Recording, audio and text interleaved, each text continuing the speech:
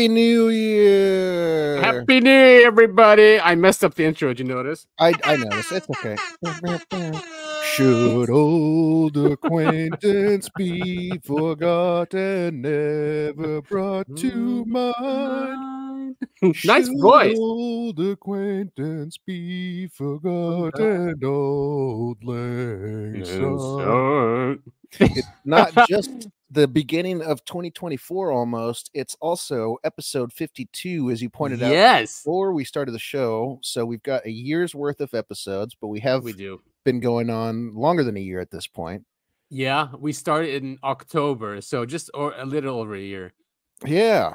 which is nuts. I actually uh, we got an email onto our account, and the Oh, guy's yeah? like, "Yeah, he's like, uh, uh, so he's re- he reached out. I guess he's some YouTube dude, and he's like, uh, you know."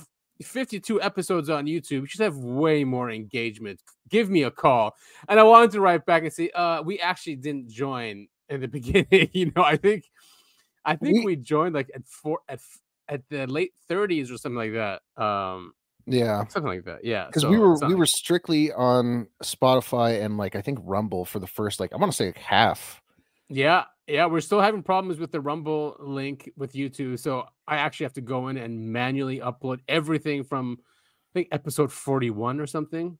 Nice. which is which is really annoying, you know. And Yeah, I can't. I, I don't know if they got rid of the link because I can't find it anymore where I can set it up. And I and I search for everything. It might be like a pro thing now. I'm not sure. Well, I've Um, got all 52 episodes saved to my desktop on my laptop. So if you need me to resend those to you, let me know. Sweet, yeah, and no, I should I should have them too. It's just and you know what? It actually it, it should be easy because I'll just copy paste everything from uh from YouTube There you go. and then and then upload. So yeah, once I have time, I'll put those on there because I guess that's the platform for like our type of shows or some of the subjects. Um, even these big guys like Russell Brand, um, what's his name from Bright Insight. Like they'll start a stream on both YouTube and Rumble, and then they'll switch over halfway to just Rumble. They just Yeah. get off. I mean, I, I I can see that. I mean, looking at it now or thinking of it now. I mean, I mean, I do listen to podcasts on on Spotify and stuff, but I do definitely tune into a lot of uh, YouTubers who essentially just have podcasts on YouTube. Oh, nice. Do you go to Rumble at all? I, I, I once in a while. Yeah. Um, it's just YouTube's easy because I got the app, you know. So I'll even like put it up- get the video started, and then I won't watch it. Like uh, if I'm at work or something, I'll put the video like the screen face down and just listen. oh, nice. You don't like even stuff like um AJ's show, um, the Why Mhm. files. You really don't need Yeah. to. I mean, you should watch it, but you don't. But you don't need to. right? Um, but you should Yeah. definitely reach out to that guy who reached out to us, and I'd love to be a guest on whatever he's doing.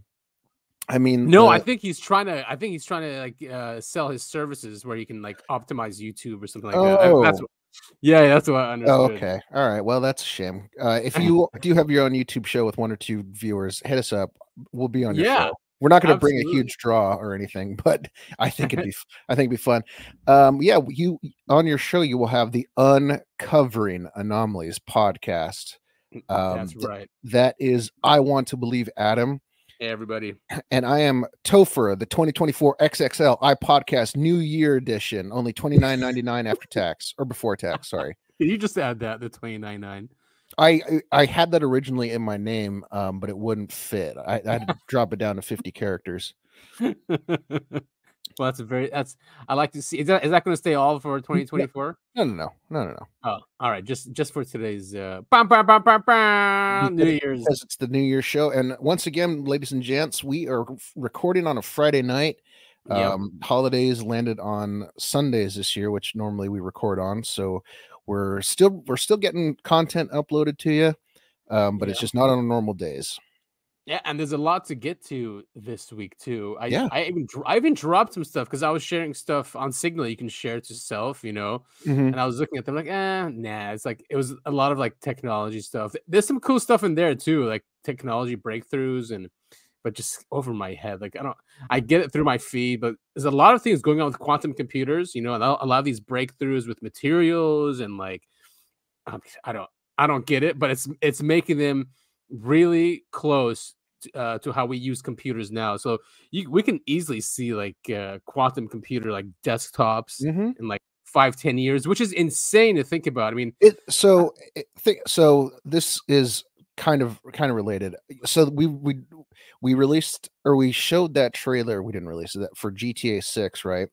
Oh yeah. Um, so I was thinking about this the other day. GTA 4 came out when I was in high school, and back then in the Oh, game, wow. you had to go to a uh, internet cafe. Do you remember those? Oh yeah, dude. Of course I remember those. That really uh, wasn't that long ago, and look, we are now. And then if you go the opposite Oh. direction into the future, I mean, it's it's not hard to you know, it's not that crazy to believe we will be in the quantum realm.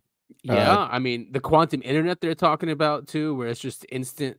Uh, like you can just have it like one on. You can have on Mars communicate with Earth instantaneously. Yeah, I think like I, I remember waves reading. I remember reading an article about China doing something similar, and I think I've even brought it up on the show where they had a Yeah. satellite up in orbit Mhm. and they were Mhm. using quantum communication to communicate with it, which is super interesting. Instantaneous transmission of data. I don't think they were able to trans transmit a whole No. lot, but still, I mean, it's a beginning spot.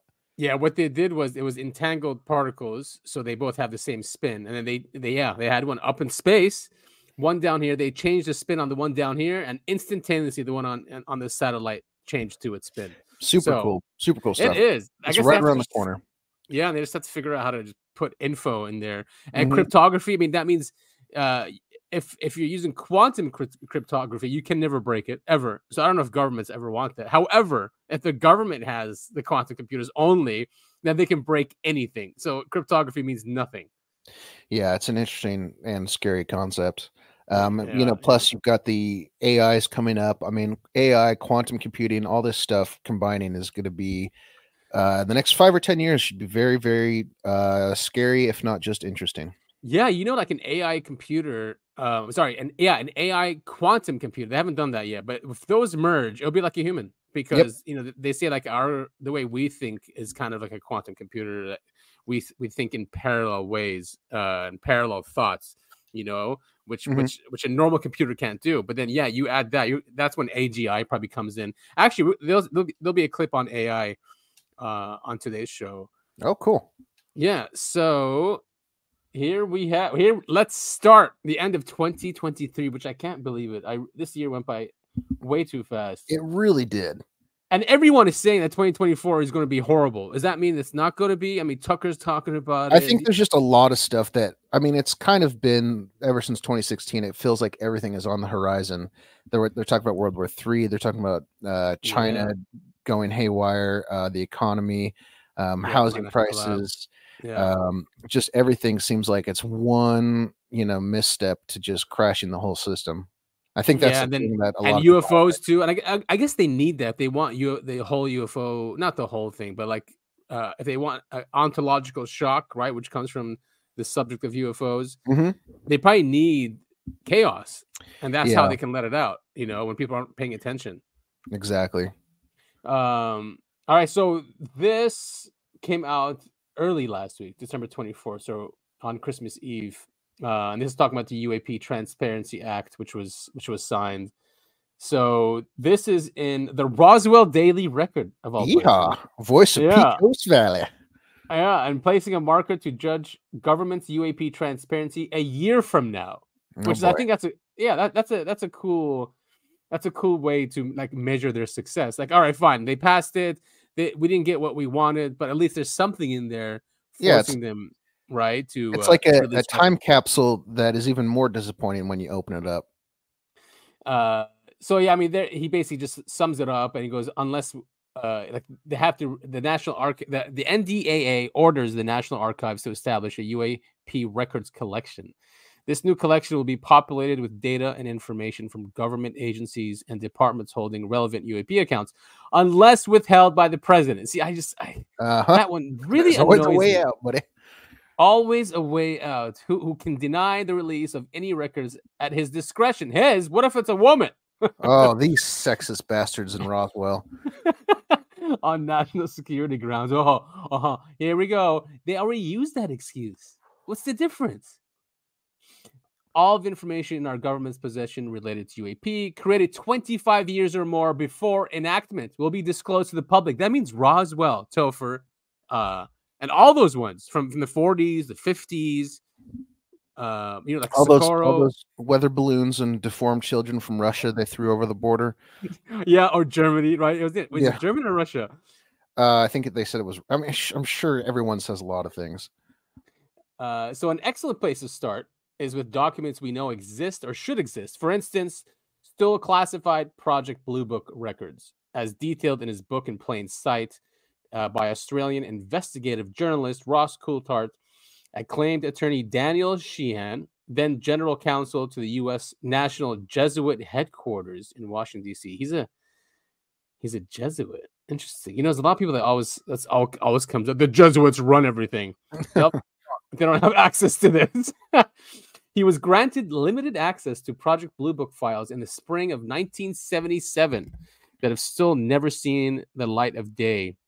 Um, yeah, according to Coulthard's reporting, Sheehan saw photos of what appeared to be a classic saucer-like UFO.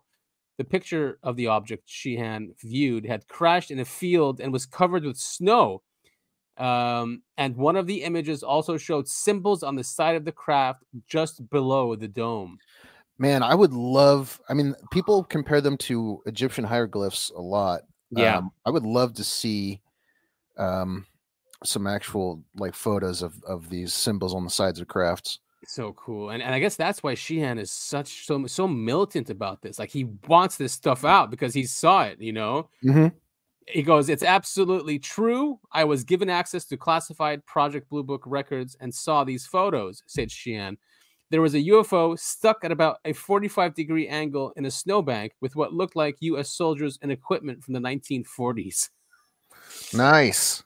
Dude, imagine this one comes out. Without a doubt, those Blue Book files, including the pictures I saw, are precisely the sort of information the NDAA demands to be released to the public. Sheehan stated. But the bigger question is will they? The government doesn't want this information out. It never has. The problem, of course, is that Project Blue Book concluded there was no evidence of extraterrestrial activity. Releasing these files would be an admission that the government lied all along. Our government always tells the truth about everything. Yeah, yeah. Hey, did your parents like lie to you a lot? I'm trying to see. I'm trying to like. I mean, mine not a lot, but yes, I was lied to like on many occasions to I don't- me. I guess. I mean, So uh, this Yeah. it's really really funny you bring this up because I was sitting. I can't remember what it was. One of the the days over this holiday season. I can't remember what night it was exactly. Uh, I know of at least one big time lie that I've told for a long time. I didn't realize it was a lie. So a long time ago, back in high school, um, you know, when you're, you're young, you can only get alcohol sparingly. You can't just Yeah. walk into a store and buy it now right? Yeah. and you know being some high school kids we all got alcohol and me being the responsible whatever i was 15 16 uh, years old i was like all right you know what? I've got a big car we can all fit. I'll drive and i won't drink. And so we were out having a great time on the town. I mean i wasn't having that great of a time but you know you hanging out with friends was fun. Regardless the next day i was helping my dad or something and he found the alcohol in the back of my car or he borrowed my car or something. Mhm. anyway he and my But mom wait, was it in the back seat or in the trunk? I believe it was in the trunk. I had a Jeep Grand Cherokee, so it, it, wasn't Ah, like a trunk trunk. It's like yeah, that yeah. trunk okay. space in the back you Oh, can I reach. the love that car, man. I I love know it. it's great. 1994 Jeep Grand Cherokee is my first car. I love that thing. Anyway, th- the next day my dad sat me down and said, "Hey, the cops showed up at my office because he had my car, and they said, you know, uh, we- we it was reported to us that." A bunch of teenagers were driving around with alcohol in the back, and we need to know whose alcohol it was. And my dad told me, he goes, Well, I talked them out of it and said it was mine, and that wasn't a big deal. Because at the time, and it still might be the case, there were no laws against open alcohol containers in the car. Uh huh. Not in yeah, not there. In, Yeah. In Montana, yeah. yeah. And and so I was like, oh shit. And so, you know, I told all my friends, I was like, yeah, apparently cops got called and someone saw us drinking, yada yada yada. I just found out over this holiday season the whole thing about the cops was just completely made up. Oh, my, They lied to me to scare me. oh my god. But yeah, I see. So like the government just acts like its parents, and That was a long the, story. The are the kids. no, man, not at all. And no, and and that happens to- me. I think every year. I'm like, wait a minute, that was a lie. You know? I- It's, oh man. So I mean, you know, they obviously lied about Santa Claus and the Tooth Fairy and stuff, but Yeah, I don't think that, that. counts. I uh, don't I don't know. I don't know how much my parents lied to me. I've never asked, I've never like caught them in a lie. Yeah, yeah. Well, I guess it's not really a lie. It's a, they're protecting us. That's a white lie. Is that what the government thinks? Um, so within a year, we'll be able to answer these questions and more. Hopefully, let's see. You know, if 2024 this stuff comes out, I'll be just so, man. Oh, dude, that'd be so amazing. The years are go, going by so fast now. It'll be uh, just like tomorrow. Wow. Now these are some goofy ass pictures up top. It's the Daily Star. It's a tabloid in the UK. Uh, Mum freaked oh, yeah, out as UFO that looked like Doctor Who's TARDIS flies over her house. I don't. I've watched Doctor Who before. So if I I don't know much about Doctor Who, but I do believe TARDIS looks like a um, telephone. Uh, what the hell is it called? Uh, telephone booth from like London, except it was blue, if I remember correct. I, I think. Again, I don't know much about Dark Doctor Who. Uh, so I think you're right. So, and that this is her. She. But why would she wouldn't just say telephone booth? Why? I know what the hell, man. Like, why maybe, that be a doctor? Maybe it's because those don't exist anymore. So apparently, she freaked out that aliens are watching her after photographing UFO. Uh, shouldn't it be a UFO that looks like Doctor Who's TARDIS, uh, which she claims routinely hovers over her house? Ooh, Kate wow. had grown suspicious of a shining object that beamed above her house in Middleton, Leeds, for the last few years. The 36 year old was adamant the unidentified flying object was not a star and decided to investigate the matter further by using the ultra zoom camera on her phone. Ooh, it does look like a phone booth. I mean, could that be something like I not an optical illusion, but like you know when it's something like really far away and it's foggy because it gets foggy there, right? Well, I mean that and I mean cameras on phones are getting better. They're still not great. Zooming in, I don't know, is gonna it, it doesn't help resolution at all. And it's one of those things where, and we I was listening to the episode last week. We touched on this when we were talking about the Dorito, the Dudley Dorito. Yeah, yeah. Um, there's so much um pixelated stuff in the photo. It's not possible to see what the object really looks like. It just it, it's a very broad generalization of what she's actually taking a picture of. But it is a cool photo. But again, that could be anything. I mean, this looks like a lamppost in the middle of the night from far away. Yes, exactly. Uh, so she took three photos. They're saying after no, examining the photo, mom of three took a photo. Not three photos. Never mind. Doesn't matter. Oh, oh, sorry. Yes, Mom of Three took a photo of the shining light last week from her garden, but never expected the results. After examining the photo, Kay admitted to feeling freaked out by the object, which was reminiscent of Doctor. Okay, oh, fine, we get it. I really like Doctor Who. Famous flying time machine, like oh, like Bill and Ted's. I've never seen Bill and Ted. oh, you have their time yeah, machine is called it. Look, get, it's a photo booth. It's be. She's. Her, I mean, it's got to be some weird optical it's thing. Clearly a TARDIS. I mean, well, wait. Let's go back up. Well, kind of. It's right? just a rectangle that's upright. Right. It's clear. TARDIS. Who said? Oh, uh, probably a quote thought, from the article. My first thought was it could be some sort of extraterrestrial. I didn't think it was a spaceship, but when I saw the shape, I thought that's not normal. Freaked out. Okay. Well. Uh, so we've talked about um, what's the what's the the place in in Utah Skinwalker Ranch. The yeah. people on there have talked about seeing UFOs that kind of resemble refrigerators. Um, oh, and there's actually a word for it in Mexico. Uh, it's not a chewy chewy. I can't remember what it's called. Something like that. Really? And so, and it's still that same kind of rectangular shape, but the ones that they that they talked about, they thought they looked like they were made out of porcelain, which I couldn't say this looks like. Right. Um, I mean, if it is like a time traveling thing, there are people that say there are they are these might be human time travelers. I mean, I don't know. Weird, I, very strange. Yeah. I'm gonna hold on. I'm gonna have you Google something really quick. I want to see a comparison. Okay. Um, hold on, hold on. You know what? Keep talking. I'll come. I'll, I'll okay, come so we got uh we got also uh this one. I mean, I knew the Nation of Islam was a kind of UFO cult because their founder supposedly went on a, on a mile wide UFO and met Allah there. um, so here's a clip of uh Louis Farrakhan, and this is what in the let's see 1930s, da da da. Here's Louis Farrakhan describes the half mile wide wheel in the sky that frightens the American government and shuts down our technology. Oh, There's a man. great clip to listen to. Um, it's he, he's young here. It must be in the '60s when he was making this speech. Give it a play. It'll give me some time to look All up. right, yeah. I'm trying to look up. It was Elijah Muhammad 55 years ago who started teaching us about a plane in the sky that was made like a wheel.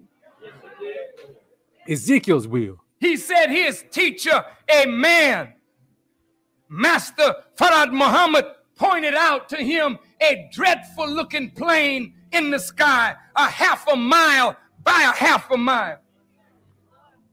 Built like the universe itself, it's circular and it holds within it 1,500 little wheel like planes. Since 1930, they have known that this plane exists.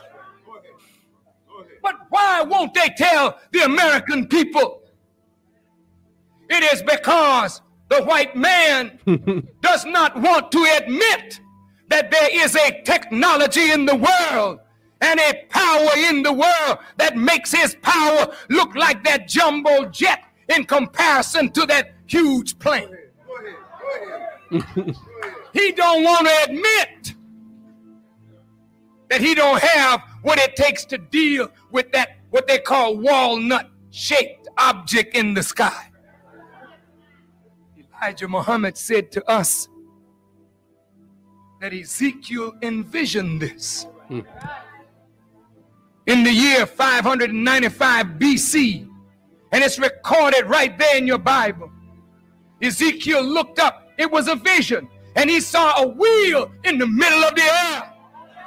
It looked like a chariot of fire, a cloud by day, and a pillar of fire by night. This is what Ezekiel saw, and he said, In the wheel, there was eyes in the wheel. I went to Libya and told Gaddafi mm-hmm. what America was planning against him before it ever happened. Because it was shown to me. And I told him I got it from a wheel like object. They don't want to tell you, but when the bombing started the first time, they looked up above and there was a bright, shining object over the Mediterranean that interfered with the communications on that highly sophisticated aircraft carrier. They had to send it back to Florida for repairs. They're not telling you this. Is that true? Read it and weep, you demons. Your end is in sight. For Elijah Muhammad told us what that plane was to do and what death and destruction, as well as life, was carried on that plane. What you gonna do when it shows up over Washington? You can't it? shoot it out of the sky. You ain't got nothing. I understand why you want a Star Wars initiative. hmm I know why you want to build a space station. You think that you will be able to get up there and do a little damage, you fool. You are just like the damn fools that fought against God in the past and thought they could win, but God never loses. And he didn't come here today to lose. That's why today he don't think two cents of you. He won't even whip you himself. Chupacabra. He's cool. He's a great. My goodness, that guy's a great speaker. He is. Yeah. There's only one of him, right? He's not back. He's not allowed back on yet. Okay, On- so On next, yeah. go go back to the last article we were looking at really quick. If this you still have it open. All right, now and then in a new tab, op- Google like you can just go up if you f- go up to the actual picture she took, Oh, wait. Sorry, I opened a new tab. All right, and then in your I want to no no no This that's one? not the, no no no the one she took. this one. Yeah, and then go and then in your new tab type in Chupa Chupa UFO. Also, Google has really gone down the drain, or it's being heavily Oh, censored. It is He- so hard. To, heavily. it's so hard to find what you're looking for. Chupa Chupa UFO. Chupa Chupa UFO. You might put Chupa Chupa UFO Brazil, uh, and go to images. Yeah, you see that on the far left over there, that magazine cover? This one, Uh, yeah, that's the Chupa Oh! Chupa UFO. Yeah, exactly. dude, nice one. Yeah. Oh wait, open up a new tab. Oh no, it didn't work. It's not. It's not working. Well, no, see, but this is what I- this is what I'm talking about when Google's really gone to shit. I you typed in Chupa Chupa UFO like I did on my phone, and look at all this stuff that's not the Chupa Chupa UFO. Yeah.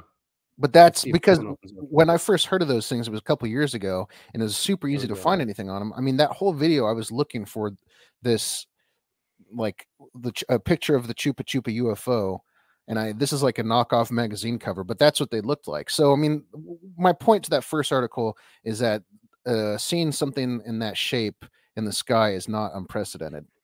Good. Good job. Very good job. I've never even heard of this. At those beings in there. Yeah, I said I said in Mexico, but I guess it was Brazil. I, maybe it was also in Mexico. Yeah, really pain in the ass to find. Anyway, yeah. Um. So isn't that cool? I mean, uh, Farrakhan's hectic, huh? yeah, no kidding. of course, make it make it against the white man and his technology. well, you know, especially with sound from when that video looked like it was created. I mean, yeah, it, it- it- there was a lot of that. Um, people feeling Yeah. that way. There was in the '60s for sure. Yeah, that's when. Um, oh, I sent this to you. Yeah, So uh, our, uh, I mean, come on, you know, listeners, if you don't want real good UFO stuff, support the show. You know, we have a we have a link at the end of every single show. It could be one dollar. You know, it doesn't matter. Two dollars, um, or whatever you want. But I mean, I would love to get access to this. I know it's kind of expensive, four hundred per year, but I mean, look at this. It's all the MUFON archives, right? From the nineteen from Mhm. nineteen sixties to two thousand five. this is private this is, the, this is for those who are catching up. This is Project Aurora, right?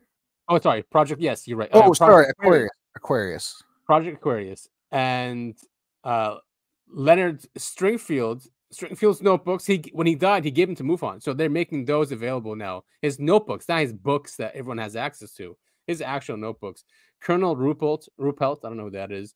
John Warren collection, the Hayden Hughes collection, the Richard Lang collection, and finally, a multi-level UFO report map from the MUFON case management system. So, so much in here Yeah, that we can go through on the show, you know, and just show people the evidence out there that you know this is not just one thing, and it's not just it's not like it's not extraterrestrial or that it's not real or it's only us.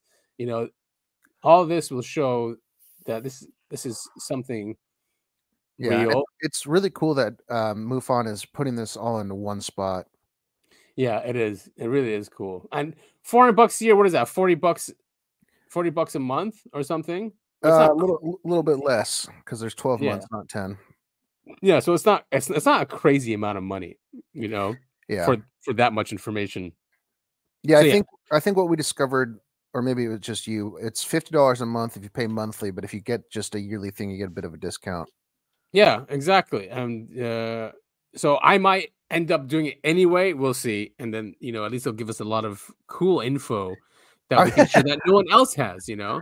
I was gonna say if we ever run out of info during the week, we can always fall back on that. But we have never once enough on ran out of info. You know, in the beginning when we first started in the first uh, few episodes, yeah, we had to go on Twitter and on U- UFOX, UFO Twitter, and look up what's what people are sharing. But now it's just every week. I mean, Newsweek, MSN, NBC, uh, CNN, everyone is just sharing stuff. And then you have all these podcasts too, and that are huge platforms like Danny Jones. I mean, Mhm. I wouldn't say he's only a UFO podcast, but he- does a lot of UFO stuff. Well, and one thing you've done a great job at is going to local uh, news and digging up stuff there. And it seems like there's we've done that for like almost a month now. It's been every week, a week, you know, month straight, being able to Yeah. see there's, you know, these local newspapers reporting on stuff that's going on in their hometown. Good point. So yeah, so there's so much interest, and it probably gets a lot of traffic once they release these things. So they know the public is interested in this Mm-hmm. and have always been. You sent me this. Um, this is Yeah, I never did finish the whole thing, um, but this is a video that was posted to the UFO, one of the UFO subreddits on Reddit, and the title of it is CIA and NASA are trying to open the door to a spirit realm. And being interviewed is Ryan Bledsoe on the Danny Jones podcast. Yeah, so he's Chris Bledsoe's son, um, who is a UFO contactee. The Defense Intelligence Agency, the CIA, NASA are all interested in in in this family. They go and stay with them. I mean, even what's his name? Uh, Jacques Vallée has stayed there. Hal Puthoff, and people people go to their house and they hang out and they just wait for things to happen. Things happen to these guys. Um, so yeah, it was a cool interview. I did stop it. Um, it's at a point because it, it's a long interview. It's about two hours, two and a Mhm. half hours long. Um, here he talks about oh, so this guy named Hal Povenmire, which I don't know about, but I guess he was he's NASA. He was the right hand man of uh of Hynek, and he what NASA sent him or or CIA sent him over to the Bledsoes to basically you know say that it's bullshit, and he ended up believing them. And this is him telling the story of that. So I'll press play here. Well, he said more to my dad than he said to me. I mean, you know, I was I was younger. I, I think he he he let a, a lot more out to dad, but he knew it was spiritual. He indicated to my dad that it may be his family, Yeah, yeah. the the the beings, the entities. You know. Now here is something that I find particularly uh, wild. But in about 2008 or nine, I would have been like 15 or 16 years old. Something he said to me and my family that for many years I've been paying attention to in my mind is that by the year 2025, the disclosure rollout would be on the table Wowzers. all those years ago, tw 2008 or 2009, he said the government's disclosure plan is going to be out on the table by 2025. And we're going to, this is what he's saying. He said, and we're going to do it through soft disclosure, meaning there's going to be like a, a, a steady drip of information so as to not shock people. It's going to be like little bits of information coming out over a long span of time Right. but you know that that we should know pretty much the majority of everything by 2025. Huh. He, he told me that when I was a kid.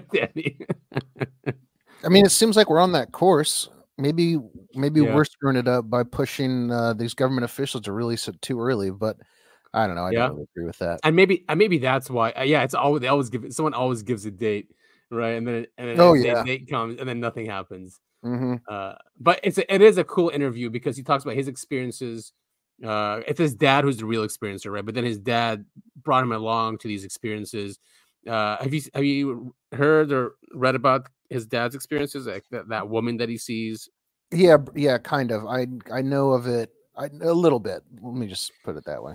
Okay, I think someone here says something. Uh, one of the uh, one of the comments. He goes, "So the woman and bull that Chris Bledsoe keeps seeing is supposed to be Hathor, Egyptian mythology, and at one point she says that the hidden one is Amun Ra. Is she telling Chris or us that Amun Ra, also Egyptian mythology, mythology, is our creator? I mean, I wouldn't go that far, Mhm. um, but that's uh, Another thought came to me is that when the Bledsoe family were testing using the two quasi quartz material, I personally think it is a part of a UFO.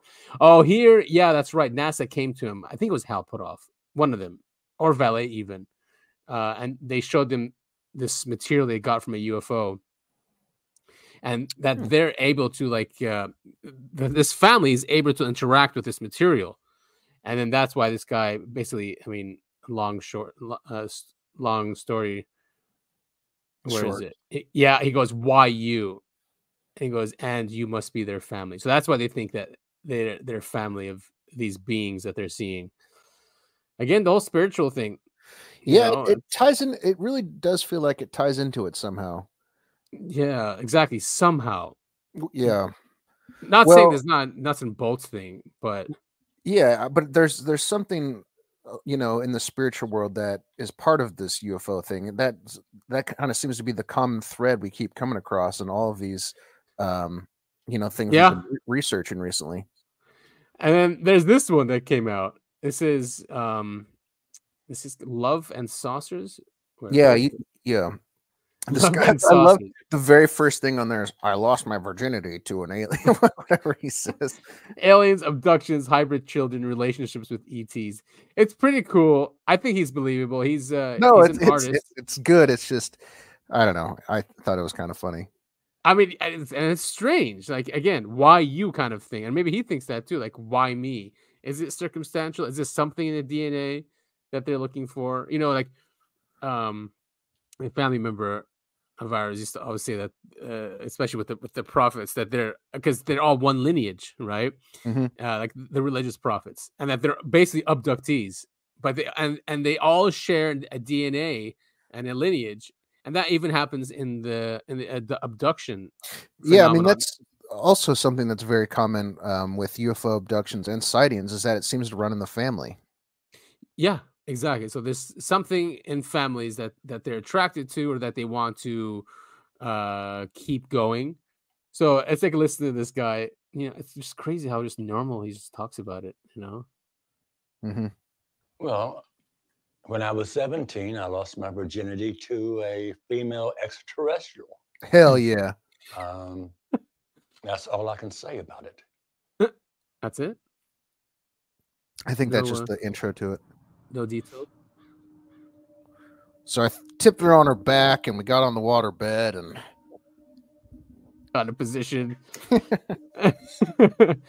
this has to be New York.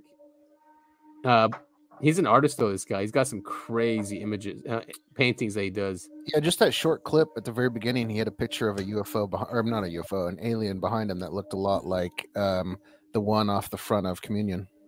Ah, see, so he meditates. I wonder if he meditates. Used to meditate when he was seventeen, Yeah, because that's something too with it. hmm His meditation and like I guess they come in contact with these beings or they ask for content. Yeah, uh, I mean, contact. uh, the guy who first wrote about um, Men in Black, it was the same thing where he would. Um, David opens his friends and eyes only to see a pair of glowing eyes staring back at him. It was a little hairy guy, and David is not afraid. He is very calm. Voice David, get dressed, come outside. Cut to David opening the front door. He sees a little hairy being, his eyes glowing. Voice Follow.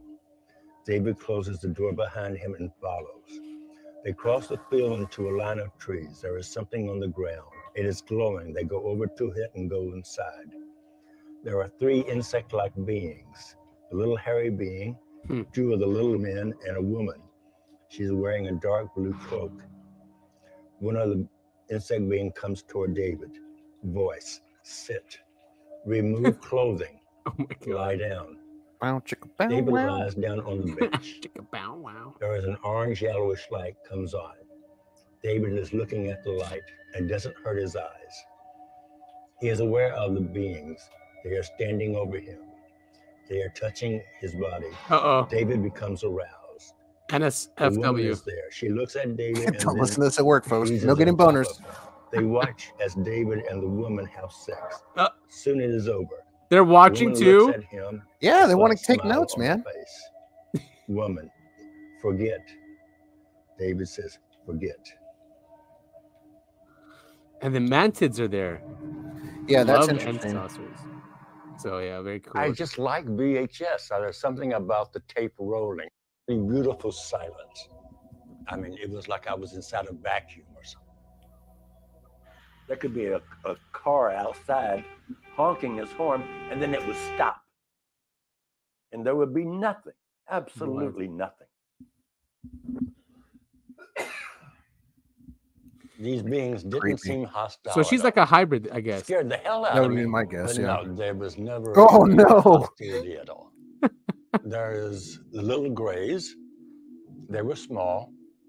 I kind of got the impression they were workers. The Interesting. hairy guy. That's The very. hairy guy. was his eyes. I mean, it's weird. I just saw an image. It might be it's probably fake, but it looked like this. But he's much bigger, eight feet tall. So he's just as small as the Greys, but he's hairy. Huh. So not really a Bigfoot, kind of just Right. like a little foot, and not the dinosaur from Land Before Time. And he's the one that got him. Interesting. Right? Yeah. He- he- Huh. yeah. that always got me. A tall, thin being, he had a knob on the back of his head. He was like the person in charge. hmm There was the insect being. He reminded me of a praying mantis. He was frightening, but he always spoke to me as if I was a child. And then there was Crescent. That's her. I was walking in the woods Oh, and I see a woman sitting under a tree. And she gets up and she starts coming toward me. I become very aroused sexually. I couldn't get my pants down fast enough. Oh no! oh my God. Okay, okay, okay. I fall back on the ground and I'm lying there. all right, all right. We get the point. You, hey, you at the very beginning, at the very top, you said what? No details, and now we're in the details. You're getting all squirmish. Uh, I'm just every it- just I just want to point out everything that he has has spoken about. I mean, not the sex stuff, but is very common. Um, what am I like? Other people have said the small Yeah. ones seem like workers. Yep. Um, you know the the the insects look like praying mantis. Uh, the tall one. Mhm. You said the tall one's probably a hybrid. That would most likely seems like that would be the case. Um, but what's interesting to me is that most people um, with alien abductions, anyways, um, they don't ever see more than they usually don't see more than one type of alien. that's it- true. It's you know they'll they'll they'll have the tall grays. Stre- They'll have Strieber did, right? they'll have they'll have the tall one that's in charge with the the guy said he had a knob on the back of his head. Yeah. Betty Andreasson said it was the tall one, um, but he had um, antenna on the front of his head like a bee, is what she said. Um, I I think Strieber did see more than one type. Yeah, because I remember like he talked like blue beings too, but and, and then he had he had short grays and the tall grays. I don't know about mantids, but that that's always around too. That they're in charge apparently, although he said someone else is in charge. So we'll link up this documentary. It's it's it is cool. There's a lot of you know weird weird stuff in there. Um, but Well, yeah. hey, what is by- it? A Mhm. hybridization program? You know, because this that's been in there too. Yeah, the, the hybrid program, that's that's definitely a theory that's been kicking around for quite some time now. Yeah, I mean, uh, uh, the Harvard scientist. God, why am I blanking now? I mean, he did lots of work into this, and he says uh, from the work he's done with abductions, and he did, I think, thousands of interviews. And from from his work, he said that the message he was getting is that there's a hybridization program happening. They are infiltrating our society, and that they're taking over. You know, and there's he did an interview with Dolan in 2020 before the pandemic. So it was really weird to hear him say stuff like that. I was like, oh my god, is that is, is- that them taking over? You know, obviously it wasn't, but so here's this article: Air Force vets, Air Force vets theory on UFOs might surprise you. Of course, it's an opinion. Yeah, let's Uh, let's hear it. All right, so he goes through the intro. We need to go through that. He talks about what's been happening uh, with with UAP and UFOs. Um, he talks about Jacques Vallée. His where's his? Okay, here we go. So one such hypothesis for these reported objects. You want to read this? Yeah. One such hypothesis for these reported objects and why they seem to disappear so quickly is that these craft may not be extraterrestrial at all, that they are actually time travelers from the future.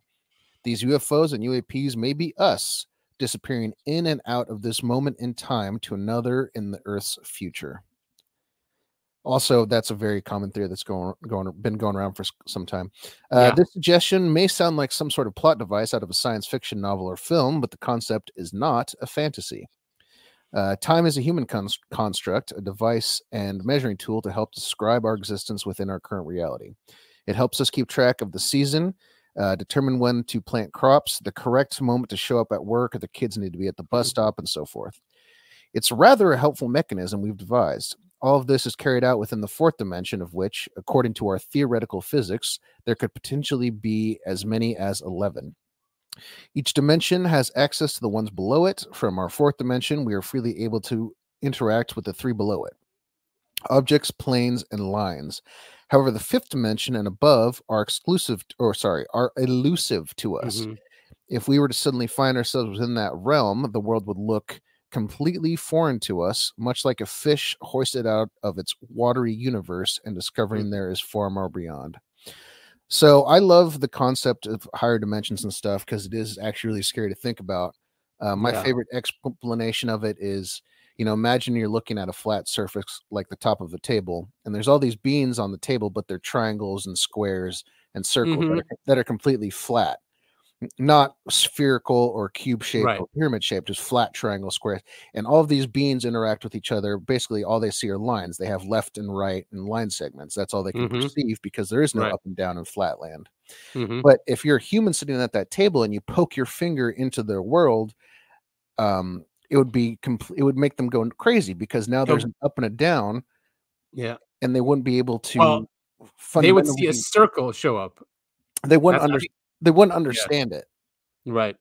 They wouldn't understand it, and so it's the same thing when it comes to our reality. If something from a higher dimension stuck its finger down into our reality, you know, we'd see UFOs, we'd see aliens, Sasquatch, ghosts, whatever, because that's our our human comprehension of our 3D space. Yep. or you know this says we exist in the 4d uh, space because the fourth dimension is time i've heard that Mhm. before i guess i agree with it but i kind of don't because to me time is a function of the 3d space Yeah, agreed. And uh, Grusch talks about this too. He talked about th- that coming from the fifth dimension, coming down into the fourth and third dimension. Um, there was that one incident uh, that one vet talked about entering a UFO that was only 30 feet in diameter. But once he went in, it Yeah. was as big as two football fields. very very So- common amongst ufo abductions Yeah, so it's, that it's like a window from another dimension, like a portal, and then Mm-hmm. the the portal itself looks like just a UFO. You know, Exactly, yeah. So bizarre. very bizarre is- it's it's great science fiction material for sure so I guess this is him. Researcher Mike Ricksecker is the author of several books, including his latest "Travels Through Time: A Walk in the Shadows." and my favorite photo provided that it wasn't them. uh, so yeah, so that's it's not only his, but it's cool that he's a military vet, U.S. Air, Force vet, and we saw their textbooks, right? What what they go through. So you know they know a lot of stuff. They're not allowed to talk about everything. Mhm. Um, Leslie Kean, she was on the Hill. She wrote. She was a co-author of that uh, New York Times article in 2017 about about the Tic Tac, Mhm. uh, about the about the UFO program, a, Basi- uh, uh, OSAP. basically the the- thing that kicked off this whole ufo craze It did, yeah, and she, she she has access to all these people like her and Shellenberger. So here she's saying um, that I guess Grusch had another a new interview, so they're asking her about that, and she and she basically verifies what he was saying by interviewing other people. So she's really cool. I'm pretty sure she has books on this subject too. Right. It's a very good distinction. Great question, Robbie, because we have to make that distinction here. We are actually talking about non-human, which means these have been determined to be that through whatever scientific process mm. has been used to make that determination. And all of that information is classified. There was one statement that Grusch made in our story alluding to describing the types of processes that are are used. I don't have it right in front of me. You guys might have it, but the problem is for us in the public is that all of the data on that is, is classified.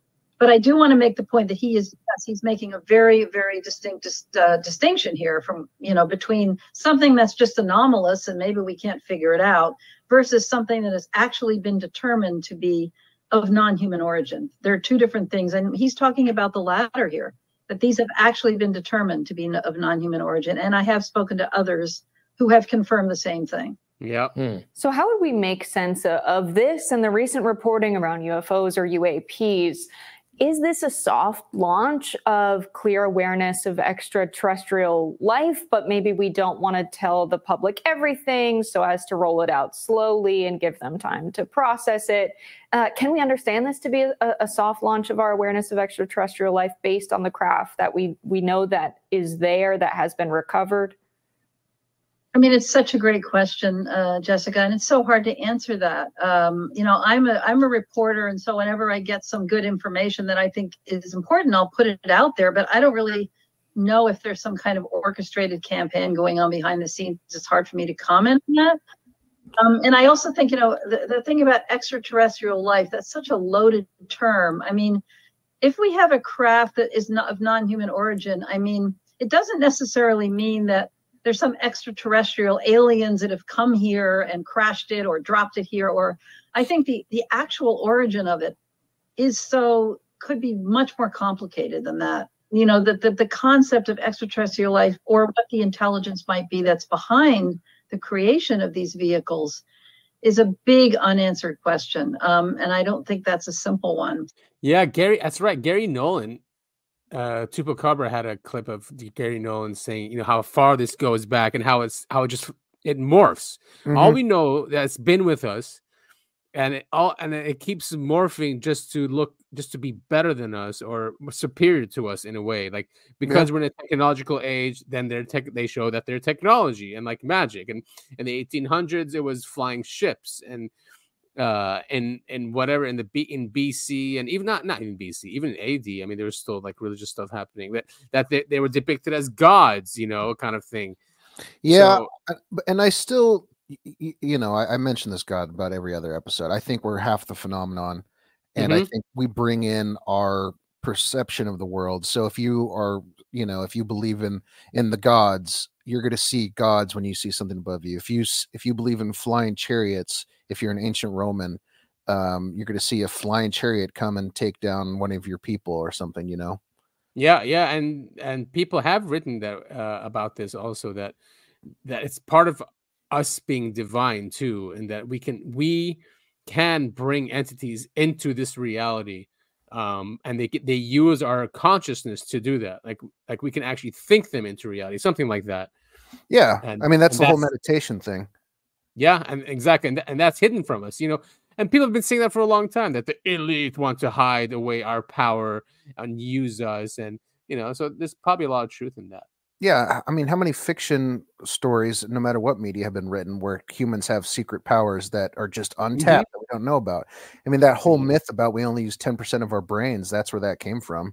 Yeah, uh, even the Brazilian, uh, the Varginha thing, right? That that being that got caught, right? Isn't that what he said to the doctors? Uh, that they both had the same thought from that being that he said, "You have no idea your potential." Yeah, you know, stuff like that, and that's sad. You know, if that very really, sad yeah, it is. Uh, uh, but then again, maybe that's why there's too many of us. I don't know.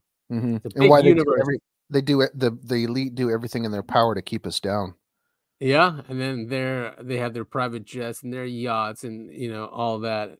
Uh, but that means all of us can, right? I yeah. I think. If you think it, it shall be real. Yeah, now this interview is long and it's it's Majic Eyes Only. We've been trying to get this book for a long time. It's crazy expensive, but apparently Ryan Wood, um, he, him and his dad run magic uh majesticdocuments.com. So he's re-releasing the book, Majic Eyes Only. And there's supposed to be new stuff in there. He's looking for a new forward. It's a pretty boring interview, to be honest. Um, it was hard to find like some good clips, and I actually forgot what I stopped it on. oh, so I have no idea. Way to way to set it up properly. Let's go. I'm really sorry, but it, it, was excruciating to go through. I'm just letting you know that's why. Yeah. Uh, well, some of these interviews can be like that. Yeah. So it's a good listen. Um, I mean, Henry Kissinger just died. Ah, right. Um, and Bush Senior passed away his eyeballs. Ago. Yeah.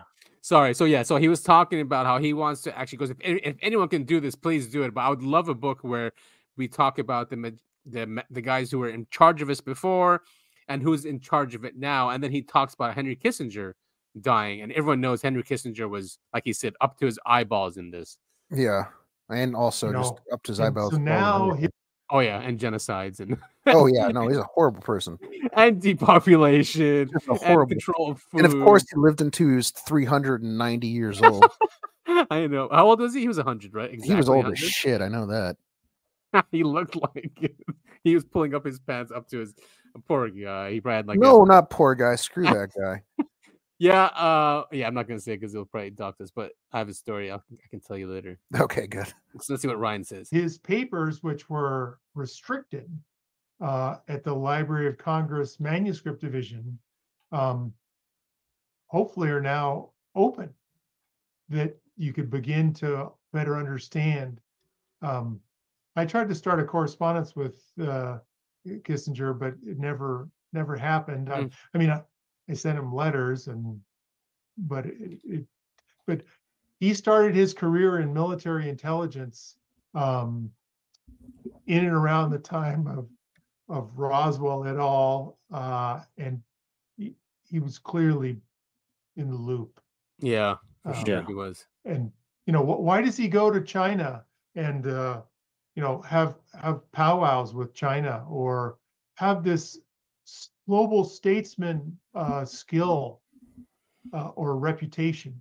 Um, because he can talk about UFOs and ETs with all those other high level people and mm. being not official government um, liaison in any way. Um, and China's got to have, Russia's got to have, yeah. um, and several of the countries have got to have um, material. oh my yeah. God, Ryan! And- He's a much better writer than he is a speaker. yeah, you know, it's so speaking's uh, it's not easy for some people.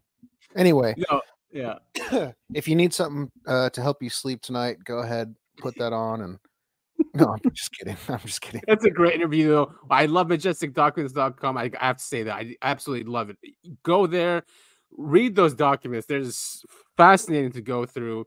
They're from the 40s, even early 40s, you know. Um, anyway, very cool stuff. We, we also covered on the show that Ryan's father sold that stuff to that one tech guy. Remember, he oh, yeah. he left the tech industry. He's what he paid him five hundred thousand dollars, and he said once they're verified, I'll I'll produce the book, and that's the book that that Ryan's talking about. So yeah, pretty cool.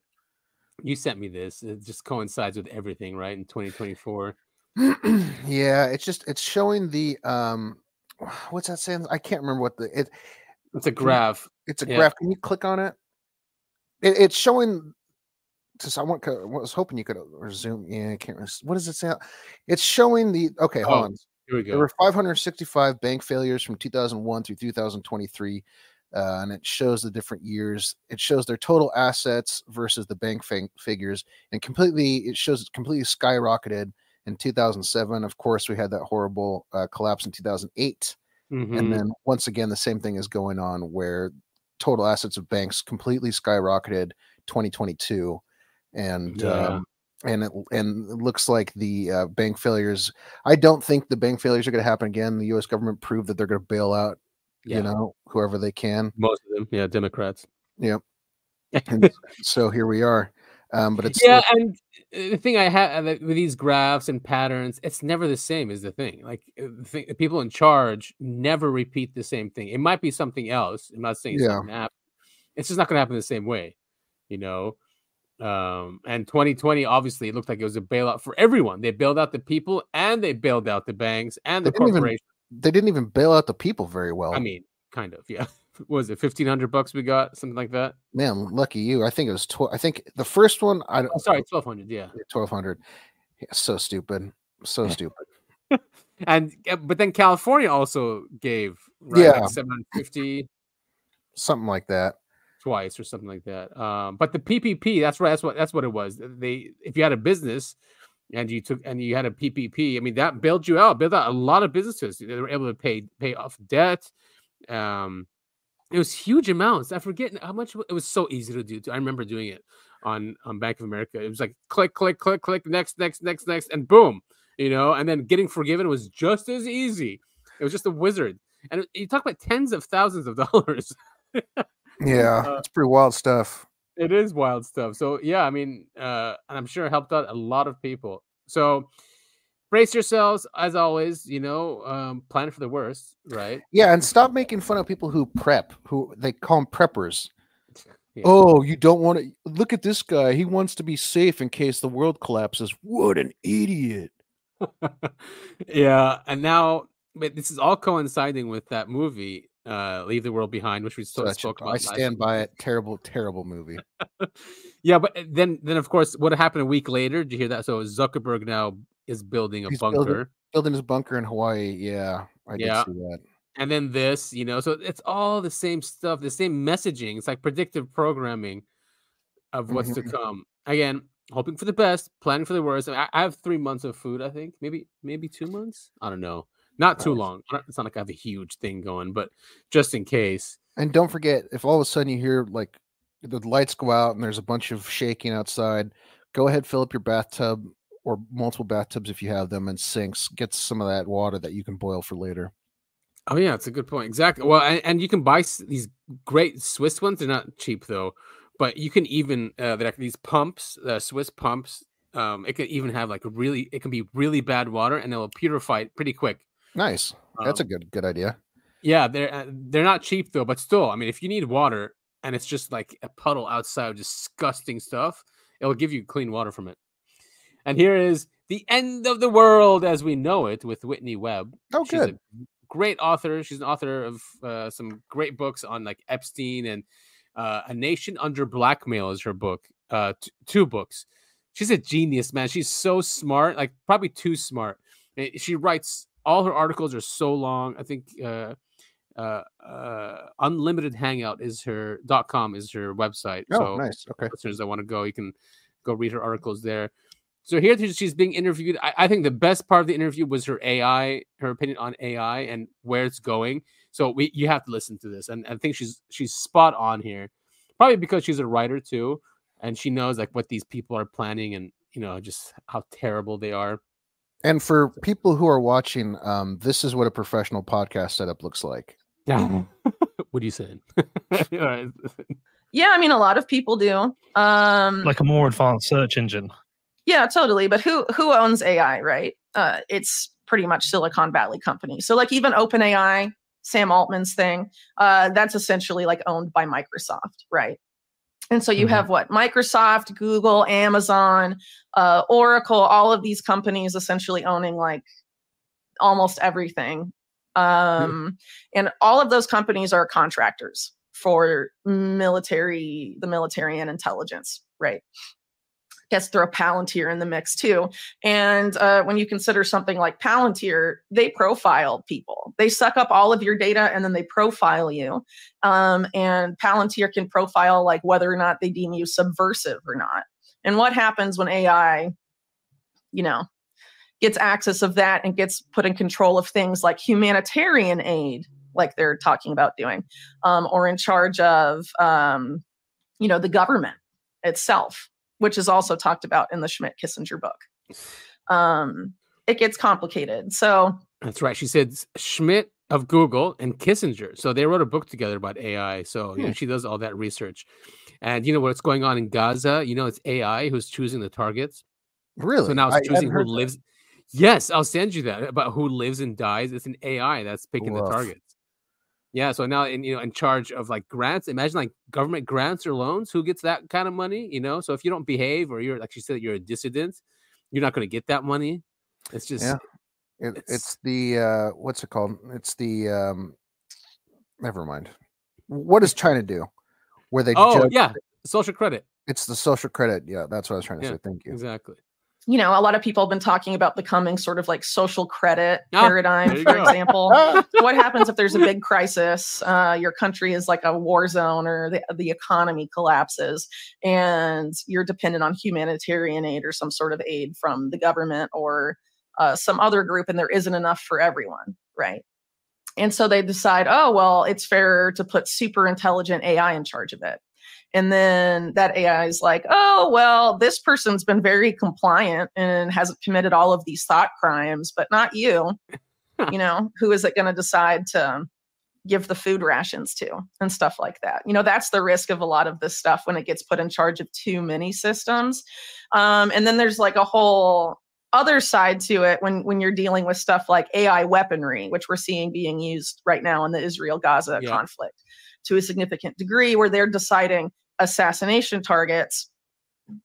Uh, you know, suppose people that they're they're deeming to be Hamas affiliated, which no one knows exactly how they're determining that. I mean, it could be someone who is a second cousin of someone in Hamas or something.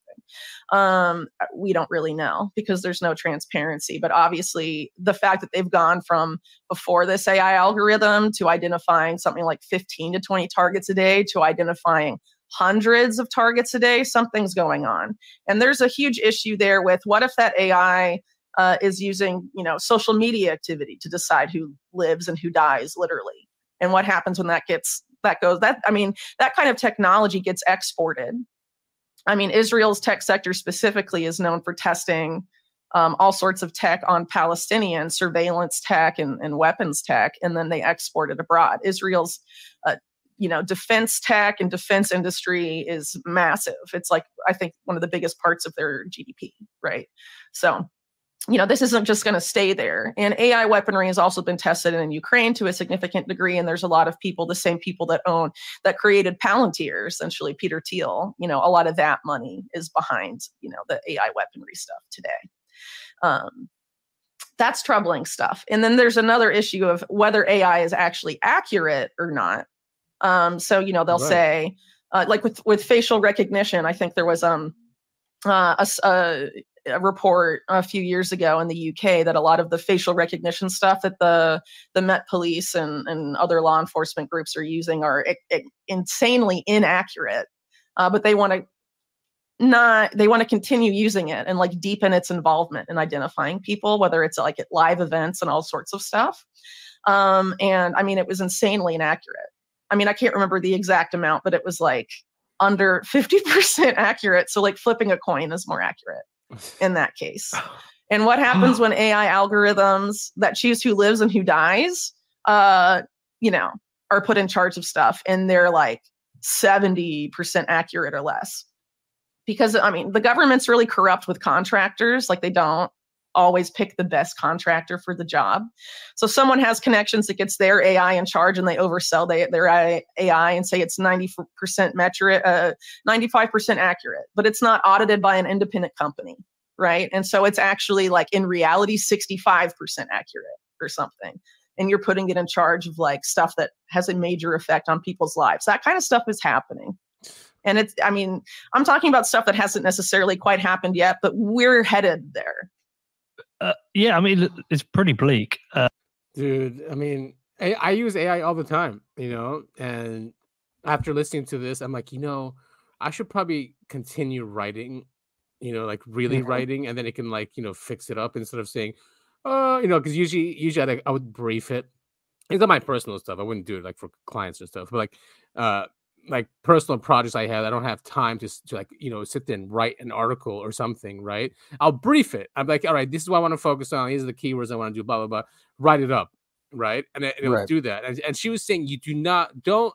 She goes, they they they want to dumb down people, and they don't want you writing anymore. They don't want you critically thinking. And she says that they want AI to write 98% of the content on the internet.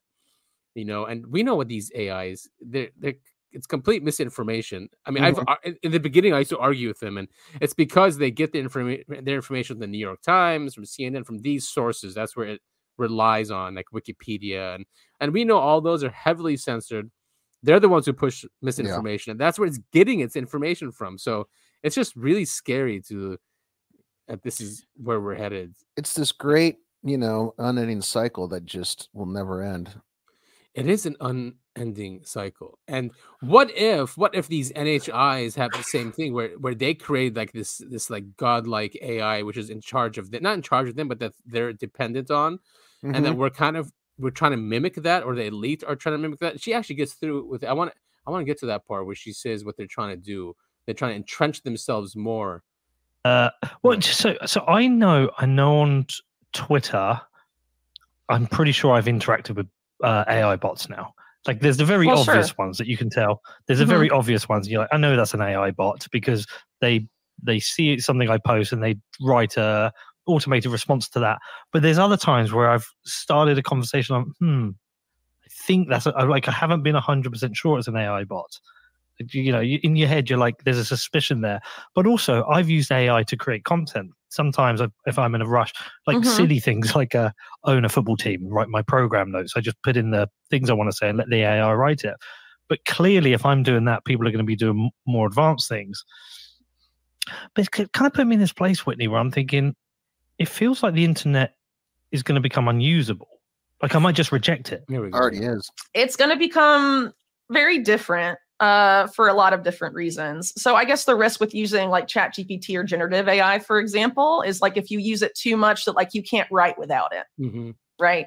That's like the stuff people need to try and and manage. I think. Um, and uh, as far as you know, what happens when all the content becomes Chat GPT, essentially, right? I mean, it's not really going to be very useful to people, but there's a lot of people that aren't really going to be able to notice so much uh, the difference because it's like legible English and it kind of makes sense, and you know, uh, but it's not going to be like human thought anymore. Uh, though there was a problem identified, I think, several months ago that once you know these AI algorithms start training off of data that humans didn't produce, and it, it's training off of data or like content that it produced itself or another generative AI uh, produced, it its output becomes like googly guck, nonsensical stuff. Um, so, I mean, it might just break itself. We'll see what happens, or if they're able to They'll I just guess, reset it. remedy that. Um, but regardless of that, the internet is going to change a lot, and this is a very like separate thing than what we've been talking about so far. Uh, but there's a deliberate push to regulate the internet. So, before we go into that, can I ask you one more question about AI? Then, of course, is there any good you see in it? I mean, yeah, I mean, obviously there is some truth to the fact that it, Oracle and uh, you know all these other companies, Amazon, what have you, because they have too much power. The people in charge have obvious problematic agendas, um, and they basically, at least in the U.S., they own the government. I mean, they basically control the government. The tech billionaires fund almost all the politicians. Uh, they have access to all of the data of the military and intelligence agencies. And frankly, uh, the Silicon Valley companies and the national security state in the US have fused 100%. They are the same blob. You can't tell where one ends and one begins anymore. That's highly problematic. That's fascism, right? When corporations and government fuse. So, yeah, Silicon Valley fascism has arrived, at least in the United States. I think a lot of people just haven't realized it yet. So those companies we cannot feed and they feed off of our data. They've been saying for years data is the new oil.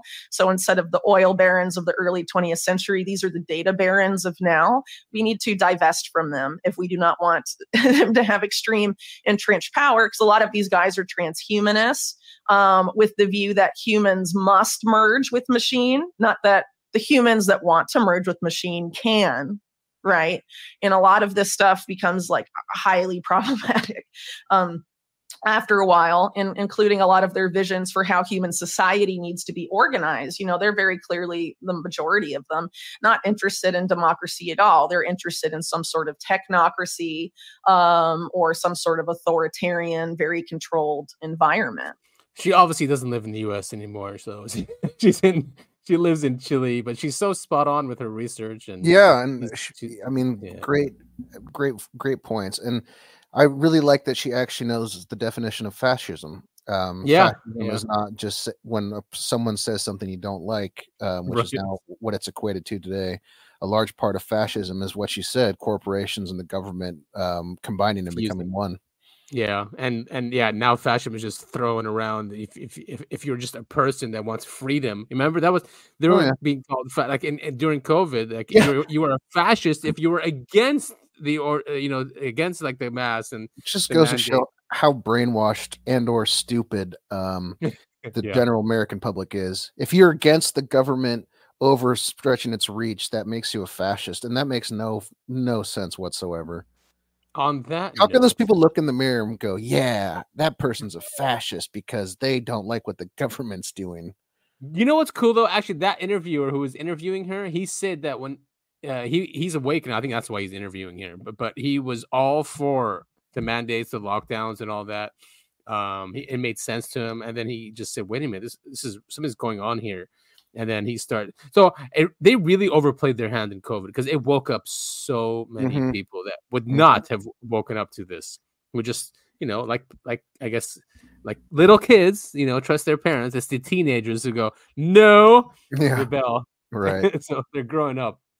You sent me this. It's so funny. This is So- from one of my my favorite places, Stupidpol, where people come together to talk about how stupid politics is, essentially. But again, it is a it is a um, subreddit focused on critiquing capitalism and identity politics from a Marxist perspective. But you funny. don't you don't just get the Marxists in there. You get a wide range of people, and everyone's generally pretty polite. Anyway, good for you that you don't have an echo chamber that you go out, you know, and see the other perspectives because you know Marxists usually are um are for big government and Mhm. and government control. So and you, you'll you'll see. I mean, a- the, a lot of people on the sub are truly Marxist, and they do believe in that. They do believe the government should step in Mhm. and take a larger role. But what they have great umbrage with is how they do it, and they're always Mhm. making fun of like, you know, they can't give us free health care, but thank God if you get a ticket, they have to use your proper uh, pronoun pronoun or whatever. new new law in California, by the way. I don't know. if heard only we get the right people in government. If Yeah, that- exactly. right, right. That's what, and they're they're trapped in that. You Yep. know, humans are not angels, or our system is not angelic.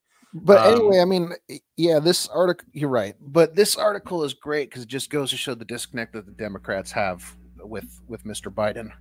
Yeah, and here it is. Here's the MSNBC article. Um, Taylor Swift could save Joe Biden in 2024. No, seriously. It's so it's so bizarre seeing this. I mean, I just saw an ad the other day where Obama was speak like it was Biden. He was talking about something. and Goes and then I'll have my friend come in, come out and talk, and and Obama had Yeah. to come out and talk for him. And it's like this is the guy you guys want to be president who can't even speak for himself.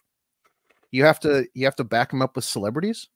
I mean, if you remember when Trump won in 2016, the Democrats were bringing in, in the entire music industry, right? They had Beyonce on that. and It was, and I, I gotta say this: when they had their events, they looked amazing. They they spent a lot of money on on how these events looked. It Mhm. was just crisp, it was clean, and they had all these elite celebrities there, and none of that worked. And I think that's why they really lost it. You know, is like our our our the people are just revolting, and they're uh, re- revolting. Yeah, revol- they Yeah. don't want they don't want us anymore. So here they are again, thinking Yeah. it's going to work this time. It's just like speaking of COVID, um, when all of those celebrities are in their mansions and they're going, "Oh, this is evil. We're locked in our homes. Where what are we gonna do?" And it's like, Yeah. shut the. You're living in like a a six digit. No, I'm sorry, like an eight nine digit Yeah, building. easily. Yeah. you know, and the rest of us are struggling to eat. Yeah. What are you Yeah, they're, exactly. They're outside of their pool and like giving Yeah. the like no one cares. Or they had Um, that cringy thing where they all sang "Imagine" by John Lennon. Remember oh that? god, that was so bad. That was That so put a lot bad. of people. That put a Oh. lot of people off celebrities. It was so funny to see. It completely ruined them. I mean, and uh, it's, but see, so not this. I'm shocked reading this because apparently she made a billion dollars from her tour this year, uh, and more. Look, look at this. More than half of all American count themselves as Swift fans. Yeah, I mean it. I don't know. Um, for people who've been watching the NFL this year or Chiefs fans, first of all, go fuck yourself. Second of all, uh, Taylor Swift is dating a player on the on the Chiefs, and like every chance they get, uh, whoever's broadcasting the game will show her reacting to stuff in the stands. I mean, You're it's just me. it's just ridiculous. It's absolutely ridiculous. Wow. It's like Dave Chappelle had a really funny part in his stand up uh, when they were talking. He was talking about um, 9 11. One of the news anchors goes, Well, what is, you know, let's see what Ja Rule has to say about this. And he was making a joke about how, like, I mean, that's just the culture we have today, like, where all these people don't give a shit about what celebrity says about what because who, they're nobody. They're people who can pretend well. Exactly. Swifties spend approximately $93 million per show. It's she's so generic. I don't understand how she got so popular. And she's got she's got I'm gonna rip on Taylor Swift now. So this is what our podcast has come to. She has horse mouth, first of all. She's she? she she's got You don't board think she's not? body Where She's she? got- I'm showing her? Yeah, because sorry, there's nothing to show. She's a ghost. Yeah. She turned sideways and you can't find her. Ah, she is. Yeah, I think you're like her, her knees uh, click. Oh God. I mean, she looks like she looks like a scarecrow. Look at these guys on MSNBC just like talking about ha ha ha. ha. What a panel! I don't even, I, I don't even want to put the thing on. There she is. Oh, she looks different. Well, no, she's in heavily. She's photoshopped and in a whole lot of makeup on time. Look, they have to like cock her hip out at a ninety degree angle to make it look like she's got curves. Uh, she, I don't think Taylor Swift is attractive. I think she has some skill, but I think her success is not merit based. That's for damn sure. She at least she shaves her armpits. Yeah, well, or it could have been photoshopped out. I don't know what Travis Kelce's into. so yeah, so they think that that she can save the Democrat Party and Biden.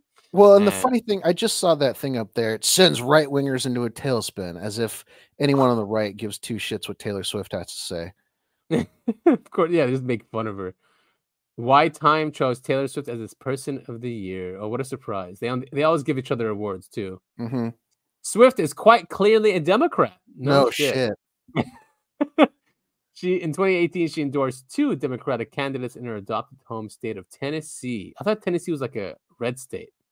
Well, she just said she supported the Democratic candidates. I mean, Oh. um, the other thing is, I'm if I remember correctly, I think her dad worked in the like music um industry already. Like, so she wasn't this like you're up right. and comer that Yes. was she got lucky or something. I mean, she was literally like You're right. Mhm. I think both her parents now. I, I think it is both her parents. Yeah. Yeah, both her parents. So she was writing songs in the beginning. They brought her into the studio and all that. So, you know, uh, Taylor Swift can beat Trump again in 2024. Uh, it's gonna be. When did she crazy. beat, beat Trump the first time? Yeah. Was Taylor, no, they have to cheat. was Taylor Swift president, and I just forgot about those four years or something? I know, like, what kind of like uh, headline is that? But it is MSNBC, known for its uh, Liberal for bias. its- All right. All right. So usually we don't cover politics, but it was funny. Uh, it wasn't too negative. It's it's Here- more of it's more of just our politics here in the United States has become just embarrassing at this point. It is, and I, it, it was great because it followed you saying that you know that we're a dumbed down population, and I, I don't think that's really true. I think there is a, a faction that has been extremely dumbed down. The, one- the ones who completely stayed with the program after 2020, uh, you know, that's that's the faction that they're speaking to, and I, I don't think Mhm. there's large, large amount of people. It might be, might be kids. You know, yeah, I don't know. about this stuff. But as as we know, kids don't vote. That's true. I, I'm sure the Democrats would love to lower it to like 16 or something. They've tried. yeah. uh, so this the Hill again. They're they're covering the UFO subject a lot. So Shellenberger has a new report, and he came and did an interview with them. A crazy interview. I mean, just insane. The stuff he talks about. Uh, so yeah, let's give this one a listen. Probably not all of it. Yeah. Wow, we're at 120 already. Mhm. Yeah. Author Michael Shellenberger writes that multiple sources have confirmed whistleblower David Grusch's claim that the United States government possesses a number of non human vehicles. These sources are, quote, either high ranking intelligence officials, former intelligence officials, or individuals who could be verified as being involved in the United States government UAP efforts for three or more decades, according to his reporting. Shellenberger writes that the individuals said they had seen or been presented with, quote, credible and verifiable evidence that the US government and US military contractors possess at least 12 or more alien spacecraft, some of which they shared with AARO or the All Domain Anomaly Resolution Office, quote, which AARO has refused to provide Congress. The office reportedly said it has not discovered any verifiable information, and quote, because it does not have the authority to verify it and may Hmm. not want to verify it. Joining us now to discuss is Twitter Files author and author of Apocalypse Never, Michael Shellenberger. Thank you for being with us, Michael. Good to be with you. So, confirmation aliens are real. This is exciting. What do you make of the baker's dozen of alien spacecraft that we have? Well, I think it's it's worth just pointing out that this is very shocking. Uh, the whistleblower in question, David Grusch, used a term ontological shock, which is a little bit of jargon, but what he I means is that Oh, didn't it say like June or something like that? Although unless this has been reshared, um, because they're acting like Grusch just came out, and that was that was this summer when that happened. So, what's happening at the end here? Yeah, so I I, I think this is an old one for some reason, but it's, it's being shared again. Um, Joe Rogan does a 180 on UFO disclosure. Now believes it's real. I mean, he used to, he used to always. I mean, his logo is a saucer. Yeah. Now, now believes it's real. Says the boring, slow, bureaucratic nature of this disclosure adds to its credibility. Yeah, um, I mean, I don't know. I definitely think he's thought it's at least there's something to it. You know, I have a hard time believing he was thinking the whole thing was fake until just now.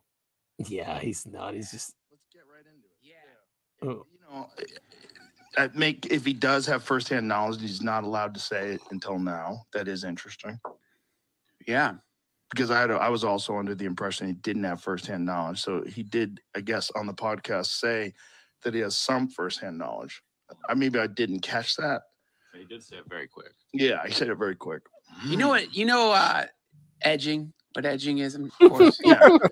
That's what this feels like. It feels like BDSM level, getting your cock right on the Oh my God. precipice of coming and then Ye- slowing down and then edging and then slowing down. Mm-hmm. It's so frustrating. It's the when we talked about disclosure in the old days, the dream of disclosure, no one thought it would be this like slow drip, bureaucratic, right? slow fucking drip. It's so frustrating. I I don't pay attention to it anymore. I mean, if they But isn't that like if you knew anything about human psychology, and I'm sure they do, wouldn't that be the very best way to release this stuff? Yeah. To make it irrelevant? Yeah. That people don't care about it anymore because Yeah. it's, it's so boring. Totally. They made the most exciting thing boring. they Yes, sir. fucking ruined it. Government. They did it with bureaucracy. They just fucking just they just signal jammed it.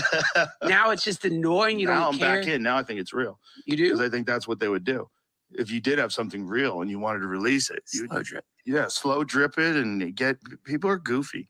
You just give them time and they forget or they don't care anymore. Talk And- about your redactions and your Mm-hmm. fucking permissions and just just cover the whole thing up in a bureaucratic web That's how I would of do it. linguistic garbage. Yeah. And then people just get annoyed. And when they do show up, no one's even going to care anymore. Wouldn't you do it that way?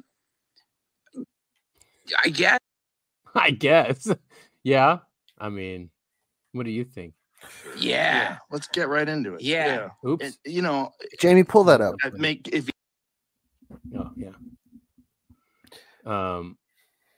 So I mean, I I never thought he he. I know he said like, oh, it's all a psyop. I didn't believe him. It's Well, he it's what he, what he said, dude. to, and he, he goes, "I'm back on board," which implies that he, I and I can I could see that. I suppose um, it was so disheartening to see all the stuff that was told we were told was coming out, and then it wasn't, and then you that would make you think, okay, this is a psyop, and then to see, you know, all the proof, and then being like, yeah, okay, this actually does make sense.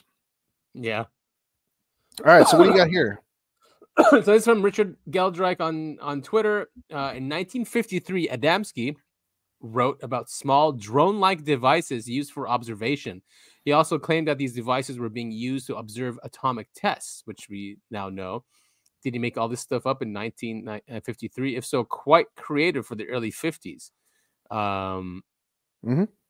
So he goes, he goes, they were about three feet in diameter of shiny, smooth material and shaped rather like two shallow plates or hubcaps, turned upside down and joined at the rim so that the central part was a few inches thick. I learned, however, that such discs varied in size from about 10 inches uh, to 12 feet in diameter, depending on the amount of equipment carried. They contained highly sensitive apparatus, which not only guided each little saucer perfectly in its desired path of flight, but also transmitted back to the mothership full information on every kind of vibration taking place in the area under observation sound, radio, light, and even thought waves. It, it sounds like the stuff we have now, Yeah, you know? yeah, that's it's it is. See, this is why they always say science fiction be, uh, becomes science fact eventually. Yeah. I mean, he said he was a he was a uh, an experiencer, right? And you know, people do argue against that. Hmm He was at he, he's talking at a flight deck. Six women worked quickly and nimbly as they fed instructions and flight data to the waiting discs. I remember noting the resemblance to six women playing in a pantomime, a silent concerto. Concerto, commented Adamski. It was fascinating to see how, when a disc had received full instructions, one of the trap doors would open and the disc would slide smoothly into the orifice passing through airlocks before hurtling away into outer space on its mission. Just crazy stuff. I mean, uh, So cool. it is really cool. 1953. And we're Mhm. just we're seeing drones do that kind of stuff too. I mean, and now our like our phones can basically do all that. I mean, they Yep. don't fly, but I'm saying like Give it time. they sense everything. They sense everything, right? They listen to everything. They know what angle they are at because they have those tiny gyroscopes in there. Or okay, forget that. What about these mood rings now that they have? Mm-hmm. It has everything in there, like how many steps you're taking, what what your temperature is, what your mood is, you know, and that's very tiny. Imagine gyroscopes, how big they used to be. Now they're fitting into rings. Yeah, I I mean, mean- it, it just it, it's that thing we were talking about earlier with uh, the internet and quantum. Um, you know, Yeah. mechanic. Everything is just growing exponentially. Um, and in fact, speaking of, of phones, and we've known this for a while. You mentioned something when we were together for Christmas dinner or lunch, Mhm. r- really early old person dinner. Yeah. Um, you had mentioned uh, uh, I can't remember what it was, and I don't even remember what the ad was, but you had mentioned some sort of product or something that I had never heard of or seen, and then later um, I was kept seeing ads for it on YouTube, and I was just like, "What the hell, it man!" li- Like, yeah, it was listening. yeah, I mean, now I don't know if they're even listening to thoughts for some reason because I would think something, I would see ads for it. How how does that happen? I, I'm in digital marketing in some sense, you know, and you you can only figure out what people are browsing, what they're searching for, and then you can target them, right? Or Right. or even listening, right, by by the mic. But how how do you do if someone just thinks something? I don't, I don't know. Uh, maybe I, yeah. I mean, that's scary stuff. It would not surprise me if we're there already. I hate to, I, I hate mean- to use the phrase. This is literally 1984, um, but here Yeah. we are. Yeah. And I mean, yeah, so we'll we'll link up everything as usual. Read the entire page that Adamski wrote. I, I really thought he was debunked, but that's just crazy. If he maybe he was part of the military back then. I don't know. Maybe he was a military Yeah, could have been. Or it's a psyop. Oh, psyop, yeah. oh man, psyops. We've been so psyoped. Everything's a psyop. Yeah. and that's what hurts me about the the truth community too or like the conspiracy community and now that they they unfortunately they think all this is just a psyop which it, it yes can be because it has been used to psyop the people i mean i, I- mean the ufo subject but Mhm. historically it wasn't like that you know that's what made the government clamp down and make the national security act so they can control the psyop you Yeah. know? maybe they were being psyoped You know, I don't even know what the word psyop means anymore. it doesn't sound like a word No. So you shared this with me. No, this is. I thought plus. this was. I thought. I think this is dumb, but it's funny. Um, it's a picture of Andrew Jackson on the twenty dollar bill, side by side. It's one of those photos that's cut in half, and you can show half of one person's face and half of another. Andrew Jackson's portrait on the 20 dollar bill, and Epstein's face from some f- paparazzi photo or whatever.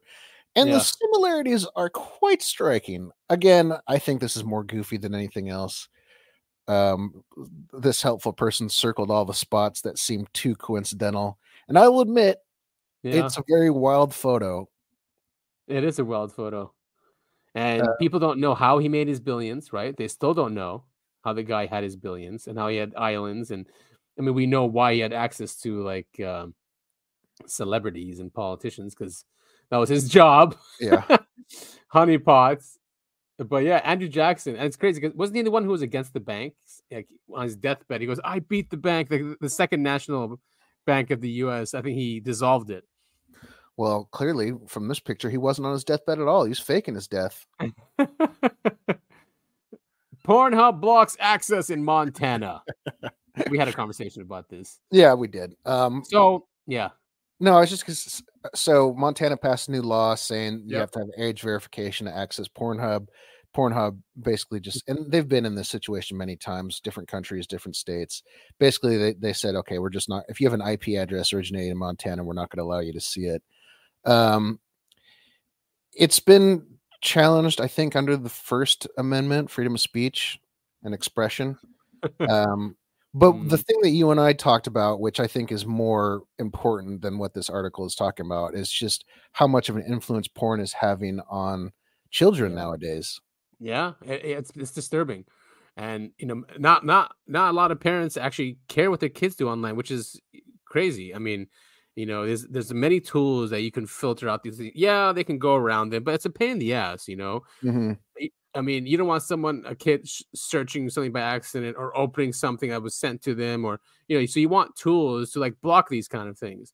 But many of these kids just, you know, uh, uh, get get um influenced or they watch it really early, like at eight years old. You know, Yeah. as early as that, and messes with their development. and messes with their uh, way of seeing the other sex, like you know, like women, and because you know, obviously in porn, it's they're they're just um, It's not. They're not representations of what women are like in the real world. of world. reality. No, of course not. so it really it gets kids addicted. Uh, it ruins their way of of having relationships uh, with women. Obviously, it's you know if people can't have relationships, and you're not gonna, not gonna have marriages. You're not gonna have kids. So Yeah, I mean it's it's a symptom of a larger. Well, it's part. It's it's creating larger and larger issues. I mean, I keep seeing articles about how uh, young men, I think it's under thirty, or like more than like it's like it's a crazy amount. Like sixty percent are single or have been single their whole lives. Mhm. But stuff like access to pornography means oh i don't have to get a girl i can just go and watch this and it Yeah. and, and and then you know oh i don't have to talk to this girl i can you know go Yep. home and hop on the internet and Yep. so you it stunts your development completely and it just makes you a socially awk- awkward uh, Yeah. weirdo and that's why a lot of these states are doing this. You know, they want they they're they're noticing this is happening and they're trying to make these laws. And all this is saying is a new state law that requires websites to verify the age. That's all they're asking to do. Just verify their age. And what do they do? They just block it. yeah i mean anyone who knows what how the internet works knows that you, uh, porn is what is it if they got rid of all there's a really funny quote from the show scrubs if they got rid of all the porn on the internet there would only be one site le- site left and it would be bringbacktheporn.com um, but what my, my point is there's more than one option to find porn but that's not the point Yeah. um, yeah, no, it's not the point, and it's and it's really easy to verify age. You don't need to have an ID. I mean, I I I I, I have e-commerce sites, and some of them require people to be over eighteen, and all mostly all they have to do is put their put their date of birth, and Mhm. these tools can verify that that's the person. You know, I don't know how they do it. It's public information, um, but it might know. be a cost thing. I don't Might be a even. I I doubt it's even a real verification because it has every. Because you know, I used to before it was outlawed in California. I used to buy all my vapes online and have them shipped to Mhm. me, and all you'd have to do is put in your date of birth. But you're not. Oh, I guess you know what? No, no, no. That was after. I was going to say you have to put in your driver's license. That part is Oh. verified. But just to view the website, you know, it just brings up how old are you or what's your date of birth. And Oh, no, no, no, I'm not- I'm not talking about that. No, I'm talking about like actually verify. So it uses public information, your your your computer, your IP address, and if and if it can't figure it out, it'll ask you to upload your ID. Interesting. Um, but in the very rare instances, yeah, it uses public information to do that. Um, But I think if since they have millions of people on here, it might cost them millions of dollars, and maybe that's why they block it. Mhm. Um, but still, it's just wrong to show this stuff to kids because it's not uh, the porn from the seventies. I mean, this is like it's it. Get, they just keep pushing the envelope, you know. Yeah. I mean, it's just and it's free and it's just ridiculous. Kids should not have access to it. Uh, well, and, and just really quick, I, that's what I was trying to get at earlier. Is just it's everywhere. It's so, and it Yeah. you know you can get it on your phone, computer, whatever. Right. And these kids have phones, and yeah, they, can, they have access to the sites. And I mean, I've we've had we've had uh, conversations with parents in the area here, and the stories I heard were ads. sorry, the stories I heard were, were horrific, and these are eleven year olds. Yeah. I'm trying to remember at what age I first saw a boob on the internet, or maybe it was a movie or something. I was definitely older I- than 11. I mean, I mean, yeah, I think I was, think. yeah, I was around, I think twelve, but I- but I, I didn't have the internet when I was twelve. You know, someone the showed me a picture in the bathroom. I was like, oh wow, and yeah, it was just boobies. It- The I mean, but internet, now it's just the, the internet was such a different beast back then. You know, it'd take 30 minutes to download a picture of anything, not just porn. yeah, yeah, yeah, and videos would take forever to load up. Um, Um, I ha- I have a I I I don't know if I want to share this. I I have a I have a just to show. Do it. what- okay, all right, fine. Uh, so when I was growing up, we'd have to um take the trash and the recycling down uh, the alleyway near our house. It was like you know about a it was like two or three blocks away. It was like the community drop off center, and it was one of those things where they were big enough where you could squeeze into. And me and my buddy, I don't know how we figured this out. We figured out you can squeeze in there and dig through the magazines and look for and look for dirty magazines. And I don't even think I don't even know if there is like porn magazines nowadays. Nowadays, no. I mean, Playboy shut down. Did they? Oh yeah, that's right. Yeah, yeah, they're gone because no one was. So these are the lengths at 13, 14 years old you'd have to go to get porn, and now it's just you open your phone in the oh, bathroom. Oh yeah, I mean, I have stories too. I'd have to go in the garages and like you know open up like yeah, yeah. I'm not going to say, but Yeah, but yes, we'd have to go digging to find it. You Uh-huh. know, so I mean, you're not going to stop boys from doing, it, but I'm saying the stuff that's on there just just freely open like that. it- yeah, it, it's can so really different. damage the brain. It really can, And I it mean, does. There's been numerous studies that proved how, how bad it is for you. Yeah, yeah, and it's because they keep pushing the envelope. I mean, yeah. So uh we have a few things left. This is from a channel called Bruce Sees All. Uh Canadian. He's been looking at the moon for almost a decade now. I've heard he's, of this guy. He's pretty yeah, he's pretty shadow banned on the moon. I mean on, on YouTube.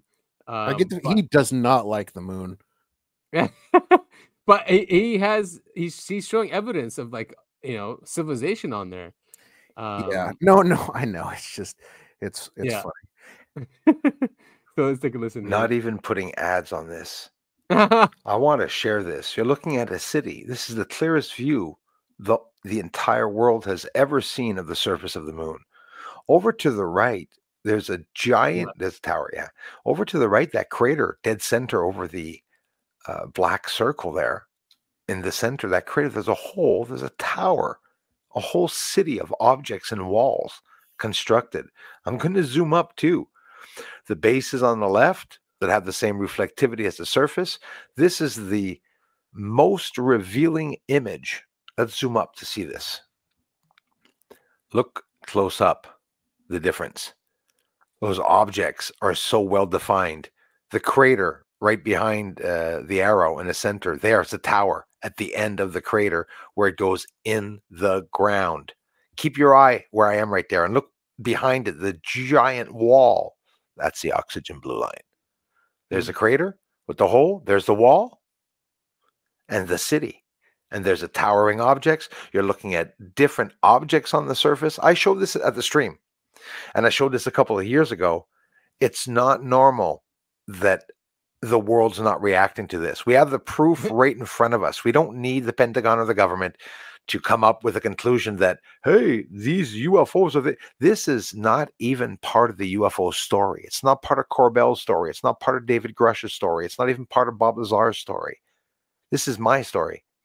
And I have the proof are bases on the moon. I've showed over a hundred different types of bases on the moon, and they all have the same setup, pattern, and idea. Look, the tower right there where I'm pointing. That towering off the surface, another one at the back, walls and whatnot, and you can see the crater right in the center with the oxygen blue line. Crazy. He's got a cool channel though, and he has he does show a lot of UFOs that could be like a mile long, just like jetting past. Mm-hmm. Um, Have you seen? it's it was um, I think it was proven to be a hoax. Um, there's like it was like footage, quote unquote footage from a secret moon landing. Like it was like Apollo 17 or 18, and they found a UFO Oh, with yeah. aliens in there. It was Oh, really yeah, yeah. It was really well done. I mean, I know it's essentially was. fiction, but It is, uh, I enjoy that kind of stuff. Me too, and I remember it was well done too. Like you said, like they had, they had the space patch on there. They showed the, they showed the craft in the crater, right? And they went and got it, and there was like this old ancient goddess or something, Yeah, right? yep, that's that's the one. Yeah, yeah, yeah. That was really cool. Of course, I believed it when I first saw it. Yeah, I did 'cause too. Yeah. I am. I want to believe See, I- Adam. again, the internet sucks because I, I thought of mm-hmm. that and I like typed into my phone, you know, secret UFO landing Apollo mission or something like that. And oh, like, it's not there anymore. no, I can't. Oh, Never seen before footage of Apollo 15, and it's just them driving a cart.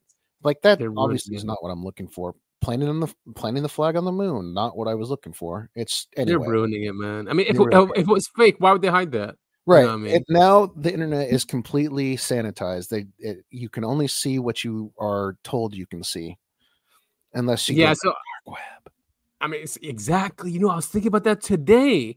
Um, the dark web, you know, it's not obviously it's not a good place to go, but they have a lot of this stuff there, like UFO stuff and, and leaked material. Um, so I might because you need the Onion browser, VPN, and some other stuff to get Yeah, I was to going to say you and I sit down so you can uh, show me how to do all that because I remember in college I was I, I remember Onion and I tried figuring Right. it out. Like I barely could figure out how to torrent stuff. I should have been better at computers. Um, I mean, you, you need a VPN, you need uh, encryption software, which is free now anyway. You know, and VPNs are then cheap.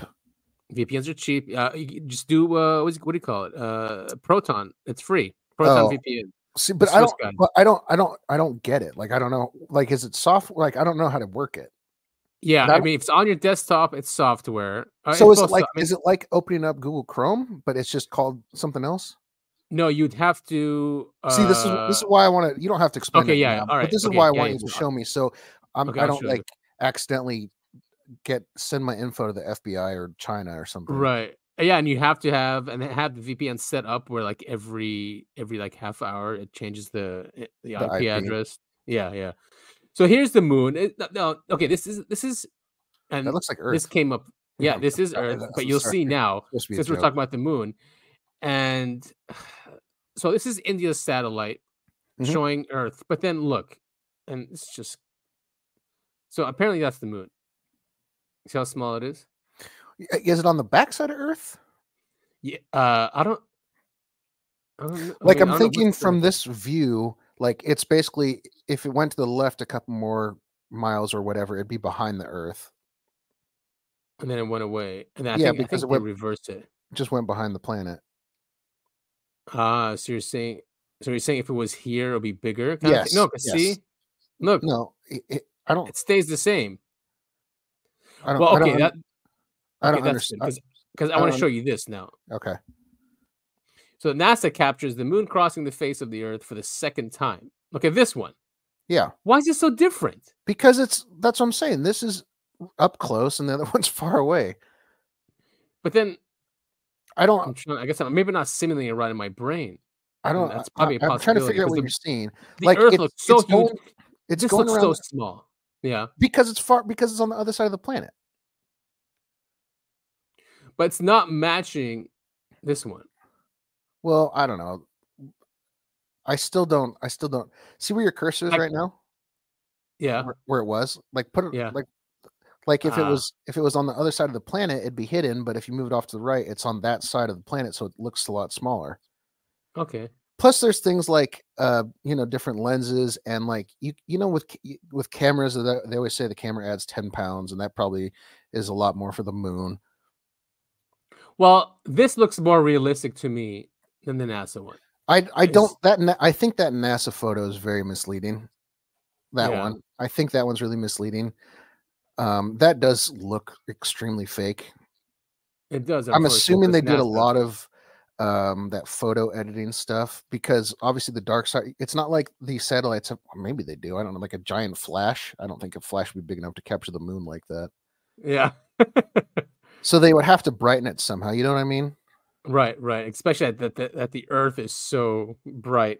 or it's in between the satellite itself is in between the sun and the moon i honestly don't know Right. But the Earth looks so massive here, and the Moon looks tiny. again far away that's all i think this is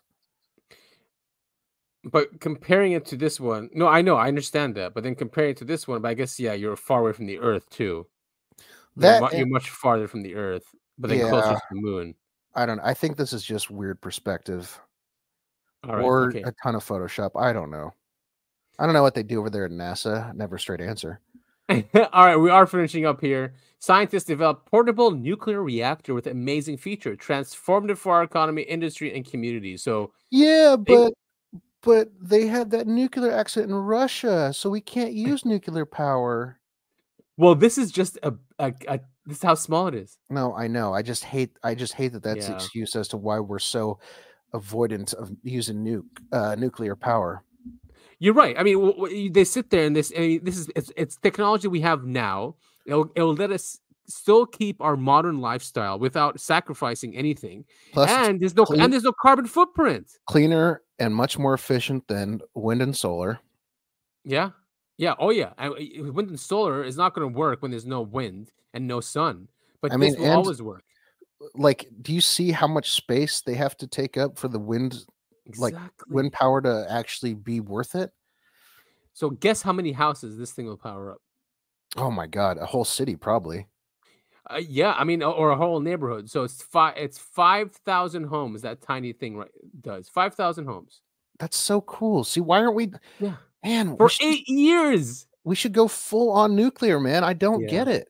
Yeah, yeah. I mean, I, I mean, the the, the breakaway civilization did. You know, they haven't. They, they used it on their spaceships and for rockets. For you know, eh, they just don't like humanity, man, because this will keep us flourishing and still living a modern lifestyle. But but solar and wind, you know, we have to eat bugs and you have to have brownouts and, and Sleep the blackouts and and sleep in pods, right? Yeah, exactly. They just don't like humanity, and that's why they want solar and uh, and wind.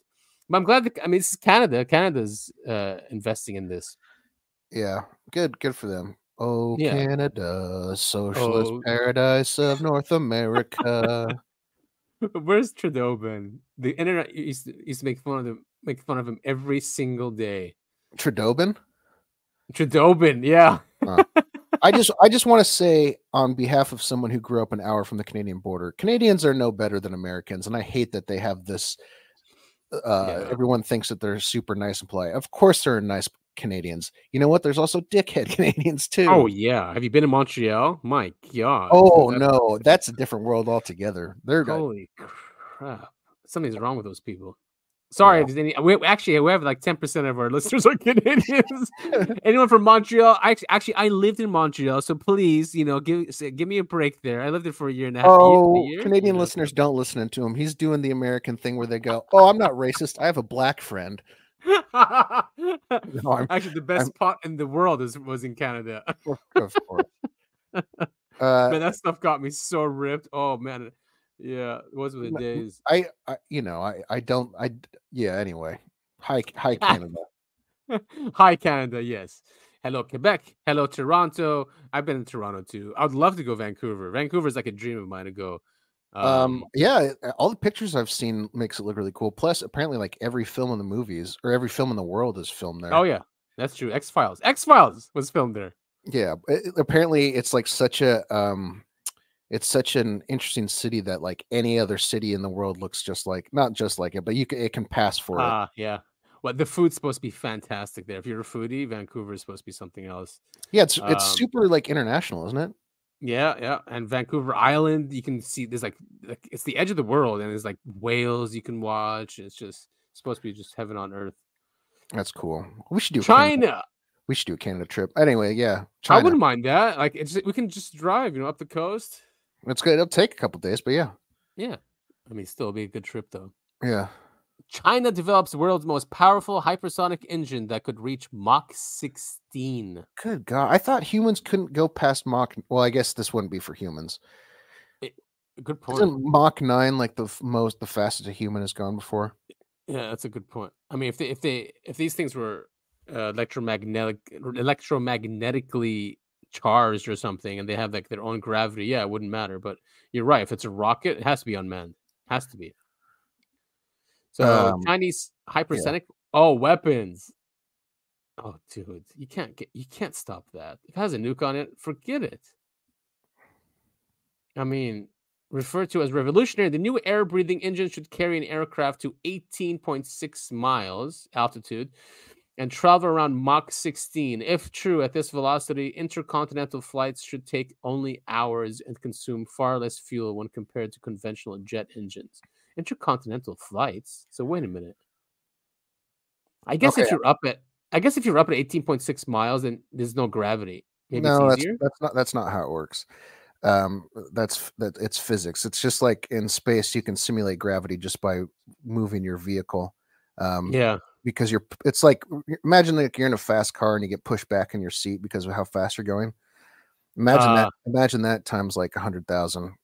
Um, the uh, Mach ten speed is impossible for humans. G forces would crush you. So I don't know what they're going to do with that Mach 16 there. Right? Maybe Probably it's just like a, a test. To, you can just say, "Oh, this thing could go Mach 16." I mean, not practically, but it can. Right, right.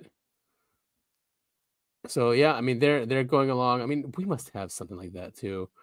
Um oh yeah, one last thing. So here's here's uh space weatherman. space weather news. Look at this beast, a Titanic coronal hole Oh, image.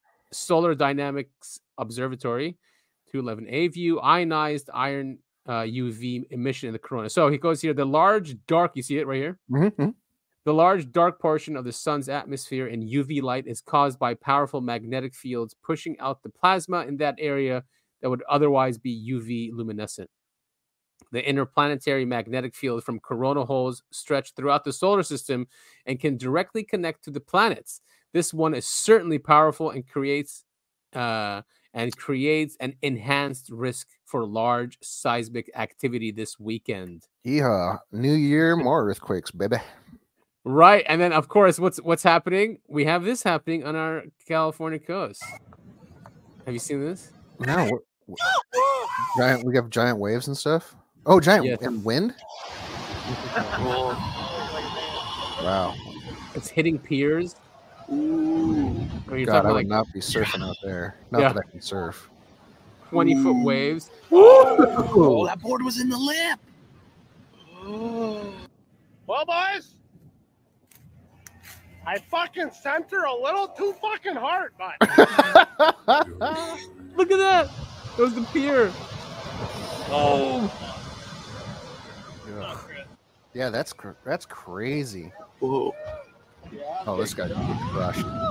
Yep. Kaboom. Oh Poor guy. Look at, look at this. Oh my god. Dude. Oh my god. That's scary. That is scary. I gotta get to a higher elevation. Oh man. So I I would I would say the best thing we had this year was probably the the, the UFO congressional hearings on on Capitol Hill. Obviously, we're Mhm. not going to play any of it. it's it's way too long. Oh, But yeah, you know, mean, we should have done a year in review for for this, but it's too late now. We're already two hours Yeah. in. yeah, and uh, I mean this was the biggest one, right? And uh, this show, I mean not this show, but it actually uh, when this came out is when our show really took off on uh, on on on podcasts, on Spotify, on Apple, and that's where the public interest really peaked. Is when this congressional hearing uh, happened, and we were there covering it. And it's kind of tapered off, you know, but you know we still have this. uh, It's uh, it's like when a market fixes itself, right? You have a spike, and then it, it corrects Yeah, itself. So levels we out. have corrected now, um, and you know we we we love all of our listeners, everyone watching us on on Even the YouTube, Canadians. even the Canadians. uh, uh, I think the UK is it. The UK is the number two. We have wait, I can get you the actual. It's US obviously is eighty percent of our traffic, and then UK is number two, or is it Canada is number two? Well, hopefully, uh, over there in the UK, they've got a license to listen to our show. Sorry, I, ha- I we made fun of Canadians. I know. Uh, 'cause you need Americans are Americans are fat and stupid. There, it's all equaled out, and uh, now no one can get mad at us, or everyone can Well- get mad at us. Either one. if we go to our analytics, which is looking good by the way, and we go to our episode, I mean our audience. So we have 60% are US, uh 15% are the United Kingdom, uh 8% is Canada. So Ontario's number one. Hello, Ontario. Alberta is 25%, British Columbia is 20%, Quebec at four. All right, all right. You know, they're not gonna be mad at me. Four percent. That's nothing. also, I think it's pronounced Quebec. Quebec. Uh, they get really mad if you don't pronounce it right. All right, Canadians, this one's for you. Um, letter the show Letterkenny, one of my favorites, just ended. Really sad after eleven seasons. One of the best shows ever. But um, Shoresy's coming out, eh, or I mean, it has been out. Two seasons are out. Um, also, one of my favorite shows of all time is a show called 192, and it's about um, a police force in Quebec. in Quebec, huh? Yeah, and uh, it's- Really? it's, very dramatic. Um, it's it's it's like a Canadian uh, like remember that show The Wire? Yeah, yeah, I love that show, man. It's one of my favorites. I I love it. It's so cool. It Uh, 192 is I would say a little bit more on the dramatic side, not dramatic, like drama, drama, like person, person drama. Yeah. Um, but it's it's really good. I would I would check that out. Oh, cool. Did you watch the movie Gran Turismo? Yes, I don't remember much of it though. Oh, I didn't know it was old. I thought it was new. Maybe I just maybe- I just watched it. Maybe I'm thinking of something else. I could have sworn I watched that. Uh, Okay, so it's the the game Gran Turismo, but right, the uh, racing so- game. Yeah, so those guys, it's a true story. It's a completely true story. They took guys that were experts at the game Gran Turismo, which is because it's a very accurate simulator. Oh no, I didn't see that. I saw the Oh, trailer for it. Ah, Oh, I know. I know. I now that you mentioned what the plot is about, I remember being like, "Yeah, okay, right, right, right." Was it good? Yeah, it was really good. Really, I, I was shocked of how true it was. I'm like, no way, this is real. And I looked it up. There's only one thing that they exaggerated, or sorry, not exaggerated, but they had it in a different timeline. Other than that, it's all true and it's crazy. It's insane. That's awesome. I'll have to check it out. Um, a movie you have to check out because I know you'll like it because it's all about. We talked about AI today, and we've talked about AI a lot the last couple months. Yeah. The show, the movie called The Creator. the uh, creator. It's on Hulu, and I will just say it's about AI, but you will really like it because it come brings in a lot of themes that we even touched on today. Did you ever get into Westworld? Oh yeah, I've seen I've seen all of it. I've even seen Okay, the I've even seen the original movie and Futureworld, which I- was the first It was, season. Michael, it was Michael Crichton, that genius. Yes, absolute genius. Uh, for those of you who don't know Michael Crichton, he also wrote Jurassic Park Jurassic Park. Yeah. and a ton of other books, and he was oh, very Oh, yeah. he was very smart and scientific in all of his books. He didn't just say like I remember this book he wrote called The Prey, which is I think my favorite of his. Um, it's about nanotechnology, and he doesn't just say, "and then there were nanobots." He literally, in frightening detail, yeah. explains how the nanobots are created, and it goes. Yeah. Most of it went way over my head, but the actual story is really cool. He's so smart. I remember when the first book I read of his was was Jurassic Park, and I was a teenager, and that's when I really was was my first, I guess, introduction to how corporations work and what they can do with the Oh, yeah. of I was just fascinated by it. You know, what a what a great author, and a lot of his. Oh, uh, the Abyss is his too, by the way. That Yeah. movie was based on his book. Uh, the the abyss is pretty good. Also, another there's two deep water movies that are my favorite. Uh, one is called Sphere. I think it came out really close to the time when the abyss was released. It was like Okay. abyss and Sph- Sphere was also a book. I cannot remember the name of the author. Um, but it's about you actually would really like Sphere too because it's about uh these people the, the US government finds a UFO on the bottom of the ocean and they put a team together to, to go see our to go find this UFO. Oh, so it's very similar to the Abyss. They Right. always do that. Hollywood always does that, huh? They Yeah. just all of a sudden they if they have any inkling or hear like something's coming out, they do one that's similar to it. Yep. And then a movie that came out somewhat recently, I think 2020 or so. It's called Underwater, and it's got the girl from Twilight in it. And I know that's not a huge Mm-hmm. sell for anyone listening to this show, but um, she's she's fine in it. But it's that's that's Lovecraftian horror, um, and that's my favorite type of horror. So I love that movie. But yeah, um, you cuz check out uh, the The creator. Creator. on I will. I definitely will. We'll Yeah. do it. Well, that will do it for 2023. Yeah. Man, what a year it has been in and out of rehab. Um, that's it for me. Also work. also work. I mean, I'm sure work has been up and down too. Uh, Yeah. it has been for me too, up and down. I'm doing some some personal projects too, which I'm gonna launch uh, next year. Hopefully, it, it works out well. Um, but yeah, the whole UAP UFO stuff. I can't believe how mainstream it is, and how you know you're not a crazy person to talk about it or believe in it, or I know, uh, man. It's just I- normal. So for the last few years, I've had a, a, a box and my tinfoil hat and a bunch of signs and my homeless clothes that I wear so I can shout at people on the street about UFOs. And now when I do it, they just go, Yeah, man, I know. Yeah. And What? so it's like I lost I lost that that that need to go out and scream about UFOs at people on the street. That would be fun to do anyway. I think just get on the soapbox and, and start preaching. honestly I, I straight up have really wanted to do that or just become a street preacher even though i'm not a religious person dude, I'll be with you. Like, I won't be next to you, but I'll be, I'll be around, so you I'll don't feel like you're across the- alone. i'll be Yeah. across the street pretending i don't know you exist but i'll be with you But just in case anything happens, I'll run run to them to help you. but i just want to shout i just want to shout complete nonsense things that couldn't be oh, taken as Oh, yeah. like sacrilege be like, and the Lord said, Don't eat cheese pizza on Thursdays, you sinners. You'd get a lot "Oh, of God, no, you'd get a gathering for that if that's what you're Maybe- saying. Maybe that's what I'll do for Halloween, this upcoming Halloween. I'll, I'll dress, I got to find some like really ratty clothes, and I'm sure I've got my closet somewhere. I mean, I'll, yeah. I'll put on a tinfoil hat and carry a paper bag or a paper paper bag, um, a cardboard sign around um, that will say something ridiculous. I mean, if there's one place there- we have free freedom of speech is in the streets. No one can do anything. I'll no, you know what I'll do? I'll put on the sign. I'll, the sign will say, "God hates signs." oh, there's like a there's like deeper meanings there too. No, no, no. It's supposed to be because you know. A lot, remember, remember, like Westboro Baptist Church when they were still a thing, Mhm. and they put the God hates that derogatory word for um, Yeah, yeah, yeah. people, yeah. Do something along, but like making it was essentially making fun of that. God, of course, in my opinion, would never hate anyone who has a sexual not. preference. This is this is obviously a just universe, you know. Well, I Uh, was- I look at normally- nature. Nature doesn't lie, you know, and that's why we have science and technology. If, they, if it lied, we'd never be able to progress or have these technologies around us.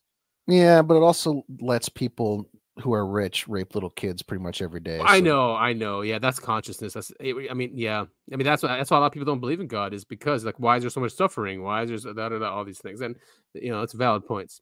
But you know, I think there's an argument there to be made about how that's a that's a human thing. Like Mhm. that's human corruption.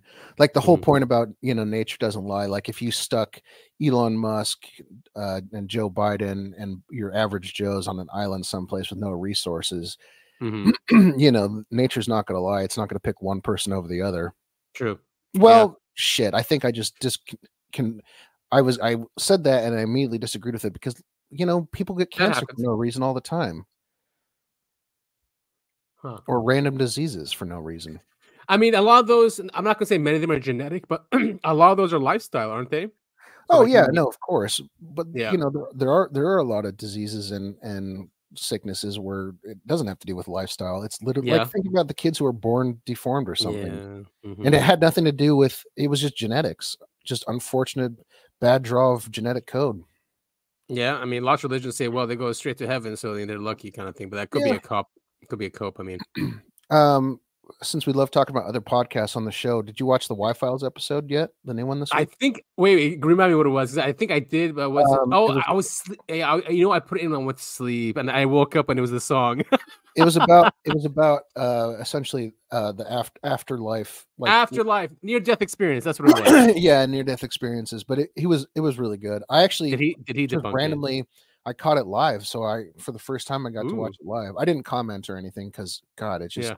Thousands of comments going by every second it's There's insane. end It's to it. insane how many comments he gets. yeah right? but it was a, another aj knocked it out of the park as usual as usual. He's such a great researcher, great um, writer. I mean, even the commercials, it's so creative how he comes up with the hecklefish and the ads. I mean, it's so funny. Human. love his show. Yeah, i just I'm love sure. that there's like there's like some like lore behind hecklefish now Is there anyone who doesn't watch that show? I feel like, like I, I feel like you know why? would- Why, why would you recommend that show if everyone watches it?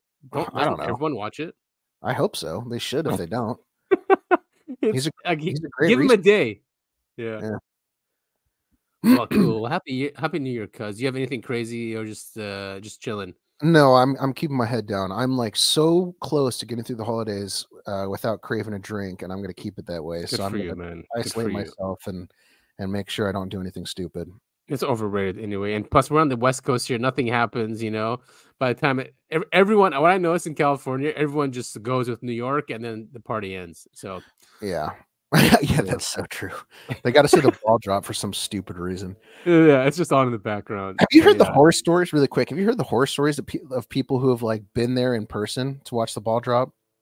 Uh, I think I've been there. I uh, but uh, Like people, I've heard people like um, wear diapers so they can because there's nowhere to use the bathroom. So you and Oh there's no God. room. Sorry, can you hear that? Was that a helicopter or a plane? a little bit, a little bit. I hear it. Yeah, Um, just a little bit though. It's gone. let me let it go. Yeah, apparently there's like nowhere you can barely even move, even if though it's Times Square, and so people are just pissing themselves and stuff like that, just because I- there's no I you, there's it. nowhere to go. You're stuck Yeah, there. yeah. Okay, so I've never been actually, and yeah, but I've been in New York for New Year's, but not right there in Times Square because yeah, it's too hectic and yeah, Yeah, you have I- to be there like at four. You have to be there like at four in the morning or something. Yeah. Um, and I I don't do. I don't do crowds. I mean that that seems literally like my worst nightmare is being in New, New Times Square on New Year's Eve. I don't think I could do that for a million dollars. I used to love it. I used to love crowds, yeah, but now I just I can't stand them anymore. If I was drinking, I could probably do it, but not anymore. Ugh. Especially if everyone around you is drinking and you're not. Everyone looks so stupid and retarded. Yeah, it would not Yeah. be an enjoyable time. Right, I'm sure. And I don't have any pretty girl to kiss this New Year's Eve, and and no dogs, no dogs to kiss either. no dogs to kiss. Where are all the dogs? The, the pugs are gone. Uh, my parents stopped in town with their dog, and they're now back home. Um, my my my favorite little boy Jasper he lives in Maine now with his mom. Oh, oh man, you need to get yourself a puppy. Well, I'm thinking of well, see, I, I would love to get a puppy, but I don't want to be at work for five days a week, Oh, leaving a poor right. puppy alone all alone. That's why I want a cat because cats are independent. Yeah, yeah, exactly. You'll come home and it'd be just it would just sleep the whole time you're not home, and then once you're home, that's it. Oh yeah, and plus anyway, they're nocturnal. Yeah. I mean, it's my cat's like that. I mean, she she- basically 10 p.m., 11 p.m. is when she's hyper. I'm like, man, I'm gonna go Yeah. to sleep. I remember our cats would have like wrestling fights in the middle of the night in the hallway Yeah. outside my bedroom and uh-huh, uh-huh. Dude, around. You're it. just like, good God. You guys couldn't They do this earlier when everyone was awake? no, no, they love nighttime. They love it. I know. I miss they're so different. I miss our cats. They were so cool, so weird. Dude, get a cat. Yeah, I want one like my old cat who had thumbs. She was the best. Uh, yeah, man. But aren't those usually like um they're usually like mixed with big cats, right? Yeah, she was thumbs? she was half Himalayan. Um, that was from Vini, the the cat you Mhm. gave me, or not Mhm. me, gave our family. Yeah. and she mated with the alley cat. Oh, he must have been like bo- half like you know some bobcat in him or something. Oh, he was he was huge. He was gnarly. Okay. He was beat up. I can't remember. it was. I don't think it was anyone's cat either. That cat just lived in the neighborhood. Oh, so for sure he had something in him. Yeah. Okay, when- you have those thumbs, yeah, it's only the big cats that have them. Oh, How my cool. my cat with thumbs. She couldn't walk on carpet. She was so sweet though. I love cats. Well, this has been a hell of a, a final episode of the year. Cause I've been, I've been so happy to be able to do this with you and get all the UFO stuff and obnoxious things that I pissed me off off my chest. it helps. It definitely helps me too. Yeah. it's, it's it's it's really. I think it's uh, it's therapeutic to talk about these things. I, mean, I don't have anyone to talk about it really, um, especially when we when we get deep into it. Not just oh yeah, they're real. What are those things up in the air? Oh, the government. No, no. Like you know what I mean? Like get off. Oh my yeah. No, I, think can't tell you how many times. shit, I can't tell you how many times I'm like halfway into uh, all the in- information I know about um, the what are the, the the tall the Nords, the Yeah. Nordish aliens, or like the you know the difference between a, a small gray and a tall white, and who's which of the weird UFO people of the '60s, do, you know, documented them and all this stuff, and you Uh-huh. can just see eyes glaze over. They just go, I. They're just like, I just want to meet the little green guys from Mars, and that's like that's the depth of their knowledge and care about UFOs cartoon characters. Yeah. that's why it's so ridiculous that the government's so anti like opening up knowledge about them because that's the vast majority of people just go oh cool like gray aliens from mars neat I think be- Louis Farrakhan is pretty right there. It's probably just they they want to keep slowly do it Yeah, and, and and show people that they're that they're in control, that they're the ones who are in charge, and there's no one else on top of them, and yeah you know that stuff. they wouldn't they wouldn't want us showing up and then asking the aliens about you know who who are their religious figures um what have they been Mhm. doing to us for the last 50 60 years how does how do your engines work um tell me about your philosophy how do you know what's your your how does your math work Yeah, yeah, and, and, then, uh, well, and then show us the manlian boobs well, why don't you get let's let's do some predictions for 2024. So, what do you Oh, think is going to happen in the UFO UAP field? And we can come we, we can do this again next year, and we'll see how right we were. So, what do you what do you what, what's your big prediction for 2024? my big prediction is I think there's going to be another big uh, whistleblower like Grusch, and it's going to be a lot of the same. Where I think, I think honestly, it's going to be a lot kind of like a repeat of 2023. There'll be at least one other whistleblower that shows up and testifies to Congress, and it'll seem like a big deal. And they'll keep talking about how things need, need to get released and yada yada yada. It won't, but we'll get some more juicy tidbits. We might even see a picture, a real release picture of an alien corpse, um, Mm. or something like that. But then something weird will happen where it's like kind of like the the NASA videos of the moon where they go, "Oh, we this is a copy of the photo. We deleted the original, or we we lost the alien body after this photo was taken." Yeah, yeah, yeah. Man. So I well, think I hope not. I think 2024 will be a lot of very similar to 2023. There's going to be, I think, one big, another big push, probably, probably around summer, um, Yeah. of another person coming forward and talking about UFOs and aliens in a big way. They might, they might even have actual proof and not just testify like Grusch did. Like they'll testify, but Right, they'll have, firsthand. yeah, Yeah, they'll have firsthand knowledge and will show pictures or videos that they have. Um, and and I think people will clamor like they have, and I think there'll be another push to try and pass laws, and it'll be more of the same. Yeah, well, I think yeah, I'm going to predict that we are finally going to find out about Roswell, and I and because of the whole NDAA that's been signed, it's been 25 years. That was the first one that happened that actually, you know, pushed our government to pass the National Security Act and all that stuff. I am predicting that since it's way overdue, and since everyone already knows about it, it's been in it's been in movies that we will get disclosure about Roswell. So that'll be that's my prediction. I sure hope so, man. That'd be great. That'd be cool, wouldn't it? And you know, tourism in uh, New Mexico will just skyrocket. Oh yeah, that's right. Hmm, maybe I should invest in the industry. In some Start looking, man. Start looking for. Yeah, for yeah, that's in insider New trading there. Yeah. cool. Well, yeah, it's been a great year. Because thank you. It's been it's been a hell of a ride this year with you uh, on this show, and growing the show has been great to see. You know, we got we got lots of interest, traffic, followers, subscribers. It's uh, really awesome to see. It's it's been great, man. And honestly, I- know it's been longer than a year at this point, it's, and it's mm, you know 52 episodes, but it, uh, it's flown by. It's gone a lot faster than the last podcast we did, which shall remain unnamed. Yeah. Um, that definitely. I I don't think that lasted much. No, how long did that last? A year and a half. A lit- yeah, a year and a half. I would say a year and a half. Yeah. and that seemed like a lot longer period of time than this has been. Oh, and that was a lot of work. Was oh my god, yeah, that was a lot of work. It was, you know, and, but it definitely. Uh, we had a lot of fun with that one as well. I don't want to say it was Oh, yeah, terrible, and it was. I thought it was a really cool format, Mhm. um, and we got to meet a lot of really cool people. We did, and it We was a much lot of really thing. stupid things with those cool people. Oh my god! Yeah, that's not. Maybe one day we'll t- we'll tell these stories, but there was there was some crazy stories with that podcast. Yeah, when the statute of limitations runs out, we can finally reveal what we did. exactly. All right, cool. Well, happy New Year! Happy New Year to you. Happy New Year to our uh, to our subscribers and our listeners and our people that watch the show. Um, again, follow us on Twitter at UAP the podcast, and you can find us on all the platforms, podcasting platforms, on YouTube at Uncovering Anomalies Podcast, and Rumble at UAP Podcast. Once we get that working up again and running, uh, so and support us, please, for the new year. Let us yeah we, that. we've we've talked about joining MUFON, um not just not just subscribing to project what is it again it's not aurora Aquarius.